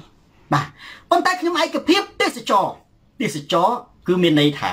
បាទណាមិនកំណត់តែចិនទេប្រទេសណាក៏ដោយជុំវិញពិភពលោកហើយខ្ញុំគ្រាន់ចម្រាប់បើសិនជាបើកលំហចិនពេកនៅសៀមរាបវាធ្វើឲ្យខូចខាតហើយបងប្អូនខ្ញុំទៅណែទៅលេងនៅប្រទេសថៃទៅលេងអីនៅភូកេតនៅអីណានៅភូកេតនេះដូចជាខេត្ត ថៃតំបន់ទេសចរដ៏ធំនៅក្នុងកោះដែលល្បីល្បាញហ្នឹងអូនតាក់សេបងប្អូនខ្ញុំដើរទៅគ្មានគ្មានក្បាលចិនមួយទេនៅស្រុកថៃសុទ្ធតែក្បាលបារាំងមែនទេបើនិយាយសិតពួកអឺរ៉ុបពួកពួកពួកមកពីប្រទេសអឺរ៉ុបហ្មងប្រទេសអឺរ៉ុបចង់និយាយពួកអាមេរិកយើងចឹងទៅអឺរ៉ុបនិងអាមេរិកពួកអីចឹងទៅស្បែកសទៅគ្មានឃើញក្បាលចិនមួយមុនហើយស្រុកថៃតំបន់ទេសចរសំខាន់សំខាន់ណាគ្មានក្បាលចិនមួយទេមែនទេហើយកន្លែងណាដែលចិនគេដាក់វានៅមួយប្លុកនៅស្រុកយើងយូរយូរទៅចិនណាអានឹងទៅវៃមេរោគអុកលុក យើងមើលចំណុចហ្នឹងខ្ញុំថាបើសិនជាត្រឹមកម្រិតទេសចរអត់ទេប៉ុន្តែតែដែលខ្ញុំចង់សកវិញណាហ៊ុនសែនគាត់ចង់អួតទីគាត់ចង់អួតថាគាត់នឹងធ្វើពលានយន្តហោះថ្មីថ្មីហើយដល់ទៅពេលអញ្ចឹងទៅគាត់ឌឺដងសក់ទៅឲ្យអ្នកដតីគាត់ថាមើលសុំចិត្តអ្នកវិភាគសុំអីផ្សេងផ្សេងហ្នឹងអ្នកវិភាគហ្នឹងកុំរិះគន់គាត់ថាគាត់ធ្វើពលានយន្តហោះមូលដ្ឋានតបចិនដល់ដែលណាថាបងប្អូននេះខ្ញុំប្រាប់ឲ្យសម្ដេចណាគេថា តែពេលដែលទៅយកដីគេប្រជាជនតវ៉ាទៅចាប់គេដាក់គុកគេថាទៅពេលណាដែលឯងផ្ដាល់មូលដ្ឋានហ្នឹងមែនទេទៅឲ្យចិនដូចនៅកំពង់សោមកំពង់សោមវាគ្រប់របបដោយចិនហើយទៅវាយអាគារជំនួយរបស់អាមេរិកចោលអាហ្នឹងគេត្រូវតែថាគេថាមាន3សំខាន់សំខាន់បងប្អូនចាំមើលណាអត់ខុសទេក្រៅពីហ្នឹងគេមិនដែលថាទេគេមិនដែលគេអ មែនទេព្រោះហាហ្នឹងក៏មិនលុយហ៊ុនសែនដែរហ៊ុនសែនគាត់ដើរតួនាទីជាអ្នកដឹកនាំប្រទេសទេខំរត់នេះដើរតួនាទីជាអ្នកបម្រើព្រោះនៅលើពិភពលោកនេះប្រទេសនៅប្រទេសបារាំងនោះសឹងមួយស្រុកមានពលានយន្តហោះមួយប្រធានាធិបតីគេដូររហូតនេះគេមិនដែលនិយាយថាដោយសារប្រធានាធិបតីគេមិនដែលដើរសម្ពោធពលានយន្តហោះនៅអាមេរិកសឹងតែមួយខេត្តមួយរដ្ឋមានពលានយន្តហោះ10ប៉ុប៉ុន្តែគេមិនដែលដើរសម្ពោធផងខ្ញុំចង់និយាយថាម៉េចខ្ញុំចង់និយាយថាជារឿងធម្មតាទេវាត្រូវតែមានហើយបើមានគេអប៉ុន្តែមិនមែនប្រកាសថាគេនឹងទៅគ្រប់គ្រងតែឯងទេណា វាមនុស្សវាដឹងវាជារឿងធម្មតា Tiger Forest ប៉ុន្តែអា3ចំណុចទី1កន្លែងដែលគេថាគឺកន្លែងដែលអភិវឌ្ឍឧទាហរណ៍អភិវឌ្ឍมันមានសំណងសំរុំដូចជាពលានជនហោះនៅខេត្តកដាលទៅយកដីប្រជាជនឆៅឆៅឲ្យតម្លៃគ្នាថោកបដិញគ្នាចាប់គ្នាដាក់គុកអាហ្នឹងនៅលើពិភពលោកប្រទេសណាក៏គេថាដែរបើបើនៅសៀមរាបមានពីណាថាបើមានប៉ះពាល់ពីណាផងតែចង់ធ្វើប៉ុន្មានធ្វើទៅបើតែកុំឲ្យប៉ះពាល់បើតែមកគៀកក្រុងអង្គរប៉ះពាល់ព្រៃអង្គរអាហ្នឹងគេថា បើអ្នកអត់ប៉ះពាល់អត់មានរំលោភអ្នកណាអត់មានប៉ះពាល់ធម្មជាតិអត់មានប៉ះពាល់របស់អភិរក្សមានណាគេថាគេអអយតើអ្នកនៅសៀមរាបគេអគ្រប់តែគ្នាហ្នឹងមានពីណាគេអន់ចិត្តយេថាតែខ្លួនឯងណាមានពីណាគេថាចាំតែខ្ញុំនិយាយចេះគាត់អង្អួតទេមែនទេទី1ប៉ះពាល់គេមែនទេចំណុចទី2គឺមានវត្តមាននិគមបរទេសអាហ្នឹងក៏គេថាដែរ Digital Hunter មានវត្តមាននៃគុំបរទេសឧទាហរណ៍ថានៅកំពង់សោមវ៉ាន់ស្រេនៅកំពង់សោមគឺប្រទេសកម្ពុជាខេត្តកំពង់សោមបាត់បង់ទៅចិនហើយបាត់បង់ទាំងស្រុងហើយបើបងប្អូនទៅក្រុងកំពង់សោមលែងមានអត្តសញ្ញាណខ្មែរលែងហ្មងហើយនេះប្រទេសហ្នឹងលែងជាប្រទេសខ្មែរបងប្អូនមើលទៅគឺសូម្បីទីក្រុងចិននៅស្រុកអាមេរិកវាមានដែរវាមានតែសង្កាត់ណាមួយដែលវាចិនវាគ្រប់បណ្ដប់ហ្នឹងប៉ុន្តែអានេះទូទាំងកំពង់សោមគឺបាត់បង់លក្ខណៈជាខ្មែរហ្មងអានេះបើយើងមើលទៅគឺបាត់បង់ណាអញ្ចឹងគឺ បើកាលណាមាននិគមមាននិគមបរទេសនៅក្នុងហ្នឹងអាហ្នឹងគេថាឧទាហរណ៍ថានៅសៀមរាបហ៊ុនសែនបង្កើតនិគមចិននៅហ្នឹងបង្កើតនិគមចិនដូចនៅកំពង់សោមករណាទៅរវងវងវាទៅជាលែងបាត់អត្តសញ្ញាណខ្មែរវាទៅសុទ្ធតែចិនដូចនៅកំពង់សោមវានៅអីចឹងអាហ្នឹងគេថាមែនគេថាសាបលៀនយន្តហោះហ្នឹងគឺជាកន្លែងដែលមែនទេយោធាចិនណាគេថាមែនទេទី3គឺអ្នកឯងបំផ្លាញនរណាម្នាក់ ឧទាហរណ៍បំផ្លាញជំនួយបរទេសឬក៏អ្នកឯងនេះបំផ្លាញជំនួយបរទេសដូចជានៅកំពង់សោមបំផ្លាញអាគារជំនួយរបស់អាមេរិកហើយសង់នៃបំរិចរបស់ចិនអាហ្នឹងគឺគេសង្ស័យដូចជានៅកំពង់សោមទៅទៀតហ่ะហ៊ុនសែនផ្ដល់លក្ខខណ្ឌចំណុចណាមួយបាទសម្រាប់ឬក៏នេះគោលនយោបាយការទូតណាមួយសំហ៊ុនទៅវាយបកដើម្បីសាងសង់ពលានយន្តហោះអានឹងគឺក៏គេថាដែរគេថាគាត់ថាចំទេ គេសង្ស័យបើហ៊ុនសែនកំតិចជំនួយនរណាម្នាក់បើហ៊ុនសែនណេះបង្ហាញនៅនិគមមួយបើហ៊ុនសែនណេះរំលោភទៅលើការសាងរំលោភទៅលើសិទ្ធិប្រជាជនដីធ្លីទៅយកដីគេដល់អត់មានសំដងសំរុំណាមួយអានឹងមកគេថាបើអត់ទេគេអតើជីរងនោះគេអតែខ្ញុំក៏អត់ដែរស្រុកខ្មែរគួរតែមានពលានយន្តហោះម្នេះមានទៅវាសម្រាប់ប្រទេសជីពីបាងកកជីមកពីអីហ្នឹងគេចង់ជីចុះសៀមរាបចុះសៀមរាបគេចង់ចុះកំពង់សោមចុះកំពង់សោមមែនទេ អត់ចាំបាច់ចុះភ្នំពេញហើយឡើងពីភ្នំពេញទៅកំពង់សោមទេវាចង់ចឹងទៅបើចុះនៅនៅកំពង់ចាមចុះកំពង់ចាមអាហ្នឹងមើលតែសម្រាប់ប៉ុន្តែបើថាដំណើរពីភ្នំពេញទៅកំពង់ចាមអាហ្នឹងបាច់ទេបាទជីឡានបានចង់និយាយថាបើសិនអាហ្នឹងចង់មកពីថៃមែនទេចង់មកពីម៉ាឡេស៊ីចង់មកពីហ្វីលីពីនមានអ្នកខ្លះពលិនថាចង់មកពីហុងកុងមែនទេហើយអ្នកខ្លះគេផ្ទះនៅកំពង់សោមគេផ្ទះនៅកំពង់សោមអ្នកអាមេរិកខ្លះផ្ទះនៅកំពង់សោមបងប្អូនផ្ទះនៅកំពង់សោមអញ្ចឹងគេមិនបាច់ចុះនៅភ្នំពេញទេគេជិះពីទិញសមុទ្រយន្តហោះពីអាមេរិកមកអញ្ចឹងទៅ គេផ្ទេរនៅបាងកកបាងកកអាចចុះនៅកំពង់សោមបានទេតាគេត្រូវមានហ្នឹងល្អវាមានអីខុសទេអអ្នកខ្លះនៅបាត់ដំបងបាត់ដំបងអាចមានពលិនយន្តហោះដែរឧទាហរណ៍ថាអ្នកខ្លះគេជិះយន្តហោះហុងកុងឬក៏ជិះយន្តហោះសាំងកាពូវាអាចមានជើងចុះនៅអីចឹងទៅចាំបាច់មកភ្នំពេញទៅអីណាអ្នកខ្លះគេនៅភ្នំពេញគេចង់ចុះភ្នំពេញគេលេងនៅទីក្រុងភ្នំពេញសិនទៅប៉ុន្តែអ្នកខ្លះគេនៅខេត្តមានបងប្អូនច្រើននៅខេត្តចាំបាច់មកឡើងមកភ្នំពេញដេកជួលឡានគេមកទទួលស្វាគមន៍អីច្រើនអាហ្នឹងគឺជារឿងត្រឹមត្រូវអត់ខុសទេអញ្ចឹងបានតែខ្ញុំថា គេមិនដែលថាទេដូចជាអត់ដែលលឺអ្នកវិភាគណាគេទៅប្រឆាំងនឹងហ៊ុនសែនថាតែខ្លួនឯងគាត់ចង់អួតឬក៏គាត់ចង់បោកគេថាអានឹងគឺលុយរបស់គាត់សង់បងប្អូននៅខ្ញុំប្រាប់នៅស្រុកប្រាំងនេះសឹងតែមកស្រុកមានមួយប្លេនទៅសឹងតែមកស្រុកមានមួយទៅតែប្រធានាធិបតីក៏ដូររហូតអានឹងជាលុយរបស់ជាតិជាលុយរបស់ប្រជាជនទេទូនីតិរបស់អ្នកដឹកនាំគឺទៅដឹកនាំគេឲ្យទៅមើលការខុសត្រូវអានឹងណានេះហើយវាជារឿងធម្មតានរណានរណាដឹកនាំក៏វាអញ្ចឹងដែរប្រិយមិត្ត share វីដេអូនេះទៅកាន់ប្រិយមិត្តដទៃទៀត ទូរទស្សន៍សនតារាហុកជាងអាន ស្រាតខោជន់ផ្ដាច់ការផ្លាស់ប្ដូរផ្នត់កំណត់យើងឈានចូលទៅដល់របៀបបរិយចុងក្រោយសំដួរចម្លើយនិងបញ្ហាផ្សេងផ្សេងបាទខ្ញុំអបអរសាទរដូចជាមានទៅខឹងអីមានអាចថាទៅរិះគន់ស្អីនៅវាអត់មានប៉ះពាល់ប្រជាជនអត់មានទៅប្លន់ផ្ទះគេទៅឈូសដីស្រែគេផងណានឹងប្រយោជន៍ប្រទេសជាតិឯតើបាទបាទហើយទៅរិះគន់ស្អីឬអត់មាននិគមចិននៅសៀមរាបផង នៅអត់មានអីផងនៅសៀមរាបនៅរក្សាអត្តសញ្ញាណបានល្អឡើយតើមិនត្រឹមតែរក្សាអត្តសញ្ញាណជាខេត្តអច្ឆរិយៈ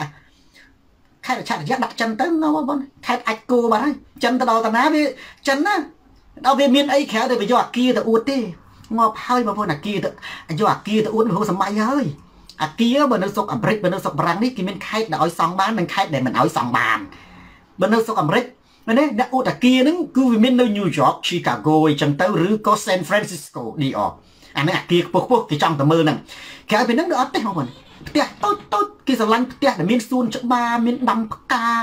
មានអីមានទីលានអីធំធំនោះសុកប្រាំងដូចគ្នាណាសុកប្រាំងវាមានអាតំបន់ខ្ពស់និងតំបន់ទាបជាទូទៅយើងមើលនៅប្រទេសស្វីសនៅនៅប្រទេសស្វីសដូចជានៅ Zurich អីវាអាចមានអាគារខ្ពស់ខ្លះប៉ុន្តែចេញពីនៅមកផ្ទះនៅឋានសួគ៌នៅស្រុកស្វីសផ្ទះនៅចលងភ្នំមានសួនច្បារទេសភាពនៅក្រោមថ្មនៅវាលនៅព្រៃភ្នំចុះកាលនៅក្រោមជ្រោះអីចឹងទៅអាហ្នឹង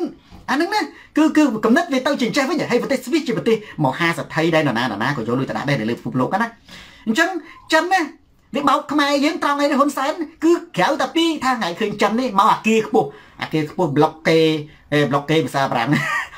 អាគារខ្ពស់នឹងប្លុកបរិស្ថានបងប្អូនវាបិទខ្យល់វាធ្វើឲ្យបរិយាកាសអាប់អួរយើងត្រូវបែងចែកថាកន្លែងណាគួរតែមានអាគារខ្ពស់កន្លែងណាគួរអត់បើថាទៅសៀមរាបឲ្យចិនទៅរញ៉េរញ៉ាយដែរហ្នឹងងាប់ហើយ បាទហ្នឹងអាហ្នឹងគឺមូលដ្ឋានតបចិនថាកំខុសដែរបាទប្រាក់សុខុមនិងប្រាក់សុខុមហ៊ុនសែនពូកែបោកប្រាក់ណាស់មានពីណាគេថារៀនបាច់អើយថាតែខ្លួនឯងហ្នឹងខ្ញុំមិនទៅអីខ្ញុំគ្រប់គ្រងទេអាហ្នឹងនោះបាទ Patrick Lambert ផ្ទះណា មានដីដំណាំទើបជីវិតមានន័យអូស្រុកនេះផ្ទះដែលល្អគឺផ្ទះគេឲ្យតម្លៃទៅលើទីធ្លាទីធ្លាបងណាខ្ញុំឃើញនៅប៉ុស CTN លេងរឿងមួយល្អ រឿងអ្នកក្រុងអាណិតអ្នកស្រែហើយអ្នកសំដែងល្អមែនទេអ្នកសំដែងបើនិយាយទៅល្អបើចំនួននេះនៅនេះបើប្រៀបធៀបជាមួយនាយកុយនាយក្រំអីជួយមែនទេសម្រាប់ប្រទេសប្រទេសយើងពីមុនវាអត់មានលំហសិល្បៈដល់អត់មានលំហសិល្បៈអ្នកណាបានចូលទូរទស្សន៍គេស្គាល់គេស្គាល់តែនឹងតាមពិតមនុស្សដែលមានសមត្ថភាពនៅរាយប៉ាយជួនកាលជាជាងសំណងមែនទេជួនកាលជាអ្នកស្រែជួនកាលជាអ្នកដាំតកួនជួនកាលជាកូនមហាសេដ្ឋី ប៉ុន្តែដោយសារប្រព័ន្ធអាប្រព័ន្ធនឹងវាវាមិនអនុញ្ញាតឲ្យមនុស្សដែលមានសមត្ថភាពបញ្ចេញណាដល់អញ្ចឹងទៅនៅពេលណាដែលប្រទេសវាអាចមានទលំទលាយសេរីភាពអនុញ្ញាតឲ្យមនុស្សមានសមត្ថភាពបញ្ចេញមនុស្សមានសមត្ថភាពផ្សេងផ្សេងផ្សេងផ្សេងដូចជាចម្រៀងឯចង្កាលដូចជាចម្រៀង It's time to rise អញ្ចឹងទៅឧទាហរណ៍ហ្នឹងវាមានផ្លែកផ្លែកហ្នឹងនេះវាចម្រៀងមានក្មេងស្រីណាចេញជំនាន់ក្រោយទៅវាផ្លែកផ្លែកប៉ុន្តែបើសិនពីមុនស្តង់ដារវាចម្រាញ់ទៅតែចម្រាញ់តែនឹងចង់ល្បីត្រូវឆ្លងកាត់តកែទៅចេះបើមនុស្សស្រី វាត្រូវឆ្លងកាត់តកែបើអត់ទេអ្នកមានសមត្ថភាពកប់ចោលទាំងអស់មានតែអ្នកហ៊ានលក់ខ្លួនឲ្យផ្ដាល់ខ្លួនឲ្យតកែទេវាអាចចេញបានបើមនុស្សប្រុសមានតែអ្នកហ៊ានផ្ដាល់ខ្លួនឲ្យនេះខំវាសនានេះអាហ្នឹងវាអាចចេញទៅបានអាហ្នឹងឧទាហរណ៍ចេះអាហ្នឹងខ្ញុំខ្ញុំមើលរឿងមួយល្អត្រង់ថាវាចំណុចឆ្លុះបញ្ចាំងមួយតែប៉ិតរឿងនេះវាកំ pl ែងទេគាត់វាឆ្លុះបញ្ចាំងមួយប៉ិតមកណាអ្នកក្រុងអតីតអ្នកស្រែអ្នកក្រុងអតីតអ្នកស្រែអត់ដឹងថាអ្នកស្រែហ្នឹងបងប្អូនណាមានប្រមាណមានដីប្រមាណហិកតាមែនទេមាននៅឡានប្រមាណមួយ មានគោប្រមាណមានត្រីប្រមាណមានមន់ប្រមាណមានជ្រូកប្រមាណមានទាប្រមាណជាអ្នកអំពេញអ្នកអំពេញនៅផ្ទះល្វែងមកប្រឡោះរកតែដីដាំចំការមកចំអាមបានផងប៉ុន្តែខ្លះគេអាសាដីនៅនេះអាយ៉នៅខាងមុខហ្នឹងណាគឺគេធ្វើបានអានេះរឿងឆ្លោះបញ្ចាំងមានកំណត់ហ្នឹងជឿនលឿនហ្នឹងកំណត់ហ្នឹងវាវាមួយយ៉ាងវាឆ្លោះបញ្ចាំងពីអនាគតមនុស្សគេគិតអញ្ចឹងអនាគតទៅថ្ងៃមុខទៅមនុស្សអ្នកដែលមានគឺគេនៅទីធ្លា គេសំដៅទៅលើទីធ្លាណាចំណែកយើងនៅស្បុកស្បុកស្បុកកញុំកញុំកញុំកញុំកញុំកញុំហ្នឹងណាអាហ្នឹងក៏គេខ្លះគេចូលចិត្តនៅឯគេមិនថាគេក្រទេប៉ុន្តែជាទូទៅអ្នកដែលមានការរីកចម្រើនជាតែងបើគេនៅហ្នឹងគេនៅដើម្បីការងារគេនៅដើម្បីគេមានហាងគេមាន business គេមានចំនួនគេទេប៉ុន្តែគេមានផ្ទះទី2គេហើយផ្ទះទី2គេនៅខេត្តអញ្ចឹងហើយបានបងប្អូនកន្លែងខ្ញុំមិនអត់ធំតែនេះអានោះធំហ្នឹងចង់និយាយថាបងប្អូនយើងទេដែលមានអារម្មណ៍មិនអត់ធំបងប្អូនមានអារម្មណ៍មិនអត់ធំហ្នឹងគឺ អ្នកដែលកើតនៅក្រុងភ្នំពេញអត់មានមកពីស្រុកស្រែពេលដែលចូលឆ្នាំពេលដែលប្រជុំម្ដងម្ដងកំសត់តែណាមិនបាទមានកន្លែងទៅបើអ្នកបើផានីខេនអ្នកដែលមកពីស្រុកស្រែអ្នកដែលមានដើមកំណើតមកពីខេត្តហ្នឹងសុបាយជីវិតមានន័យហ្មងឲ្យតែពេលប្រជុំម្ដងម្ដងដឹកតាំងគូតឡានតាំងគូតឡានទៅផ្ទះបើមានផ្ទះ2ទៅ2ទៅផ្ទះម៉ែក្មេកចែកគ្នាទៅផ្ទះម៉ែក្មេកមួយថ្ងៃផ្ទះម៉ែបកើតមួយថ្ងៃអញ្ចឹងទៅបាទទេអូបើសិនជាអ្នកអត់មានទេ អត់ទាន់មានអីច្រើនទេទៅតែផ្ទះម៉ែក្មេកមួយចឹងទៅនាំម៉ែទៅទាំងអស់សបាយមួយម្យ៉ាងដែរអញ្ចឹងបានជាយើងមើលទៅខ្ញុំថាបើចិនទៅនៅទីណាអត់មានអួតអីក្រៅតែពីអាគារខ្ពស់ហ្នឹងទេព្រោះអានឹងវាហួសសម័យហើយសម្រាប់ប្រទេសក្រដែលអត់ដែលបានឃើញអាខ្ពស់ទៅបើបងប្អូនទៅស្វីសចប់ហើយសង់លោមកគេទៅគោះគេទៅកាត់ចោលអាក្បាលអាគារហ្នឹងបាទហើយគេមានអាកន្លែងឲ្យខ្ពស់និងកន្លែងឲ្យទៀបកុំទៅអួតពេកអាហ្នឹងនោះបើថាយើងមិនដែលបានមើលពិភពលោកទលំទលាយទេអាហ្នឹងគឺស្ដាប់ សូនតារាឬក៏មើលទូរទស្សន៍សូនតារាដូចបងប្អូនមើលពិភពលោកអញ្ចឹងបាទចិនដាពៅហានឹងម៉ារីសានដតមានសិទ្ធិរូបមេដៃនីសេងបាទគឹមលីអ៊ីវនៅស្រុកខ្មែរយើងឥឡូវអាណិតអុកញ៉ាឃើញគេសម្ដែងអូអត់ប្រយោជន៍ណាអានឹងមិនជាព័ត៌មានកុំចាប់អារម្មណ៍ពេលគាត់ថាស្បែកជើងយកពណ៌ធ្វើព័ត៌មានដែរនឹងឈួតទីយើងចាញ់បោកអីទៅឆ្លោះគ្នារឿងអីអានោះខ្លះគាត់ថាអូគាត់ពាក់ស្បែកជើង1000 2000ដុល្លារហើយក៏ចុះ ក៏ទៅជាព័ត៌មានណាខ្លះគេថាអូអស់ចាណាអុកញ៉ាទិញជេជៀនស៊ីចានឹងវាព័ត៌មានប្រកាសចូលស្អីខ្លះគេថាអូពិតជាលយមែនណាមើលឈុតពិតណាមើលឈុតលោកអុកញ៉ាមួយនេះចុះពិតជាមិនគួរហេគាត់ថាអើមិនមែនព័ត៌មានទេបងណាអូតារាចម្រៀងនេះលេងមួយឈុតនេះពិតជាធ្វើឲ្យផ្អើលវេទិកោបងប្អូនអាកអាវស្បែកជើងស៊ីជេជៀនហ្នឹងអានឹងមិនមែនជាព័ត៌មានទេអត់ប្រយោជន៍បើបងប្អូនឃើញអាផេកចឹងចឹងប្លុកចោលទៅ បើអត់ទេវាលោតមកទៀតពួកនឹងវាចាញ់បោកយើងចុចមើលទៅដើម្បីពាណិជ្ជកម្មបានលុយទេតាគេថាពាណិជ្ជកម្មក្នុងហ្នឹងខ្ញុំគាត់ប្រាប់វាអត់ប្រយោជន៍មែនទេហេបើយើងគេនិយាយពីសុខភាពណាគេនិយាយពីស្ថានភាពនយោបាយគេនិយាយពីតម្លៃសាំងគេនិយាយពីកំណើនសេដ្ឋកិច្ចគេនិយាយពីការបោះឆ្នោតឃើញទេគេនិយាយពីសិទ្ធិមនុស្សគេនិយាយពីបរិស្ថានគេនិយាយពីផែនដីមិនណាគាត់និយាយពីស្បែកជើងឆ្លោះគ្នារឿងស្បែកជើងឆ្លោះគ្នារឿងខោអាវឆ្លោះគ្នារឿងរោគអានេះយើងឈួតតែមិនមែនគេឈួតទេយើងនឹងឈួតតែ ស្ដារថាឲ្យគ្នាយើងនឹងតែហ្មងអញ្ចឹងបានតែបងប្អូនខ្លះឲ្យខ្ញុំលើកប្រធានបទខ្ញុំថាណែអាម៉ាដាស្រីខ្មែរបើគេឈួតកុំមកឲ្យខ្ញុំឈួតតាមបើគ្រាន់តែស្លៀកខោគ្រាន់តែពាក់ស្បែកជើងវាយកជាព័ត៌មានទៅឆ្លោះគ្នាដែរបើទុកឲ្យគេឈួតតែឯងទៅបាទនេះគេពាក់អីពាក់ទៅមកស្បែកជើងនោះអាហ្នឹងបើយើងមានលុយថ្លៃគេទិញតែថ្លៃបើយើងអត់លុយពាក់ស្បែកជើងផ្ទាត់ទៅ ដូចសូនារានេះពាក់តែស្បែកជើងចងខ្សែដើមចេកព្រោះខ្ញុំជាកូននៃកសិករក្រីក្រខ្ញុំមានខ្វល់អីមិនបើយើងអត់លុយពាក់អាចងដើមចេកទៅមានស្អីយកអត់មានលុយអាចាំមានលុយហើយពាក់ស្អីទៅយកអួតអីអាហ្នឹងនោះគាត់តែព័ត៌មានទេតើមិនមែនជាព័ត៌មានទេអាហ្នឹងវាគាត់តែការអួតគ្នាតើច័ន្ទប្រាថ្នាគឹមខ្ញុំប្រិយមិត្តគេហទំព័រអាក្លូបាទហើយអាក្លូល្អដែរមានណែវាយបកល្អល្អដែរគេហទំព័រអាក្លូក៏លុយដែរបាទវាយបកដូចជាសិល្បៈវាជាសិល្បៈមួយនៅក្នុងការវាយបក មិនវាយបកនេះអានេះគេហៅថាវាលក្ខណៈវាយបកដែរមើលទៅវាបញ្ញវន្តណាបាទកំណត់បញ្ញវន្តអឺប៉ាប៉ាសំណប់ចិត្តបាទឥឡូវមើលព័ត៌មានសង្គ្រាមអ៊ុយក្រែនក៏ចំណេញដែរបាទចាហ្នឹងគឺចំណេញចំណេះដឹងទូទៅនឹងការបរទេសត្រូវធ្វើល្អជានិច្ចដាក់កូនកុំភ្លើជាមួយគេទុកឲ្យគេភ្លើទៅលើគ្រូបាទល្ងាចមិញឆ្លោះគ្នារឿងរំវងចូលឆ្នាំម៉ារីសានបុផានីខេ don't have time for that kind of news បាទកុំទៅចំណាយពេលអត់ប្រយោជន៍អ្នកដែលសួរសនរារឿងហ្នឹងត្រូវទៅពុក Dictator Hunter Switzerland focuses on environment and beautiful beauty of nature បាទ ត្រូវហើយសានគិនជូបាទ30 40ជាន់សុទ្ធតែចពាក់អត់អីទេបាទនៅស្រុកនេះចពាក់គេជារឿងធម្មតាគឺគេលើកទឹកចិត្តឲ្យមនុស្សចពាក់មានគេមានមុនមាននៅស្រុកយើងឧទាហរណ៍ថាដើម្បីបានមានវិឡាមានផ្ទះនៅវាតោះយើងមានលុយសិននេះអត់បាច់ទេយើងអាចមានមុនមានបានបើយើងតម្រាំថាមានគឺយើងនៅឯណាយើងគាត់តែមានការងារមានប្រាក់ខែសមរម្យឬក៏ទៀងទាត់យើងអាចទិញផ្ទះទិញឡានបានហើយបើយើងអត់ទេក៏អត់មានបញ្ហាណាមករឹបអូសរឹបកកដែរ នេះយើងអាចរកការងារផ្សេងទៀតបានបន្តអញ្ចឹងទៀតទៅជីវិតវារីករាយពេលវិសមកាលវ៉ាកងអីគេដើរលេងក្រៅប្រទេសដើរដូចគេដែរទៅអញ្ចឹងជីវិតវារីករាយមនុស្សយើងរងចាំតតែមានលុយ1លានដុល្លារបានទៅទិញផ្ទះទិញឡានអត់ទេ នៅស្រុកនេះគេស្រួលឲ្យមនុស្សមានមុនមានអញ្ចឹងយើងប្រព័ន្ធហ្នឹងល្អដែរកម្ពុជាយើងធ្វើប្រព័ន្ធហ្នឹងក៏ល្អដែរអ្នកដែលមានការងារអ្នកមានអីអាចទិញផ្ទះទិញអីបានប៉ុន្តែត្រូវមានប្រព័ន្ធត្រត្រង់ឧទាហរណ៍បែបហ្នឹងបាត់ការងារតើនឹងអាចបាត់បង់ផ្ទះអាចបាត់បង់អីទេចិត្តជលសាអត់ទេយើងត្រូវមានប្រព័ន្ធហ្នឹងថាពេលមានការងារនឹងទិញផ្ទះពេលនឹងអត់ការងាររដ្ឋត្រូវមានអ្វីត្រត្រង់មួយបង់ថ្លៃផ្ទះឬក៏ជួយអាហ្នឹងរឿង ផ្សេងស្មុកស្មាញច្រើនណាស់ប៉ុន្តែទោះយ៉ាងណាក៏ដោយយើងយើងដឹកនាំប្រទេសចង់ឲ្យប្រទេសយើងនឹងប្រជាជនមានជីវភាពធូរធារសេកផូគឺត្រូវធ្វើប្រទេសនឹងប្រជាជនមានមុនមានមានន័យថាកុំចាំឲ្យគាត់នឹងរស់ស៊ីតើមានលុយរាប់ម៉ឺនដុល្លារបានគាត់មានផ្ទះមានឡានមែនទេឲ្យតែគាត់មានរបរមានអីពិតប្រាកដអានឹងយើងមានទៅណាហើយមានការត្រត្រង់ទៅមានរដ្ឋមានរបៀបរបបឲ្យធ្វើត្រឹមត្រូវទៅអានឹងប្រទេសគេធ្វើបានយើងក៏អាចធ្វើបានដែរគាត់ថាសឹមសឹមណាប៉ុន្តែបើយើងមិនចាប់ផ្ដើមទេគឺវាសូន្យនឹងតែម្ដងអញ្ចឹងប្រិយមិត្ត ដោយសារតែពេលវេលាមានកំណត់ស្រីដៃស្ទឹងត្រែងខ្ញុំសូមបញ្ចប់ការផ្សាយផ្ទាល់តែត្រឹមតែចុះយុវជនដើម្បីប្រជាធិបតេយ្យអរគុណប្រិយមិត្តដែលបានតាមដានទស្សនាការផ្សាយផ្ទាល់នេះតាមផ្ដើមដល់ចប់ share វីដេអូនេះទៅកាន់ប្រិយមិត្តដទៃទៀតទូរទស្សន៍សូនតារាទៅដល់ទីណាការផ្លាស់ប្ដូរផ្នែកកំណត់ទៅដល់ទីនោះការផ្លាស់ប្ដូរផ្នែកកំណត់ទៅដល់ទីណាការយល់ដឹងទៅដល់ទីនោះការយល់ដឹងទៅដល់ទីណាហ៊ុនសែនចប់ទៅដល់ទីនោះស្ដាប់សូនតារាកើនបញ្ញាស្ដាប់គំវិសនាកើតខួរក្បាលពុំស្ដាប់ហ៊ុនសែនកើតរោគចិត្តទូរទស្សន៍សូនតារាស្រាតខោជន់ប្រកាផ្លាស់ប្ដូរផ្នត់កំណត់យើងជួបគ្នាសាជាថ្មីម្ដងទៀតនៅថ្ងៃក្រោយតាមពេលវេលានិងម៉ោងដដែល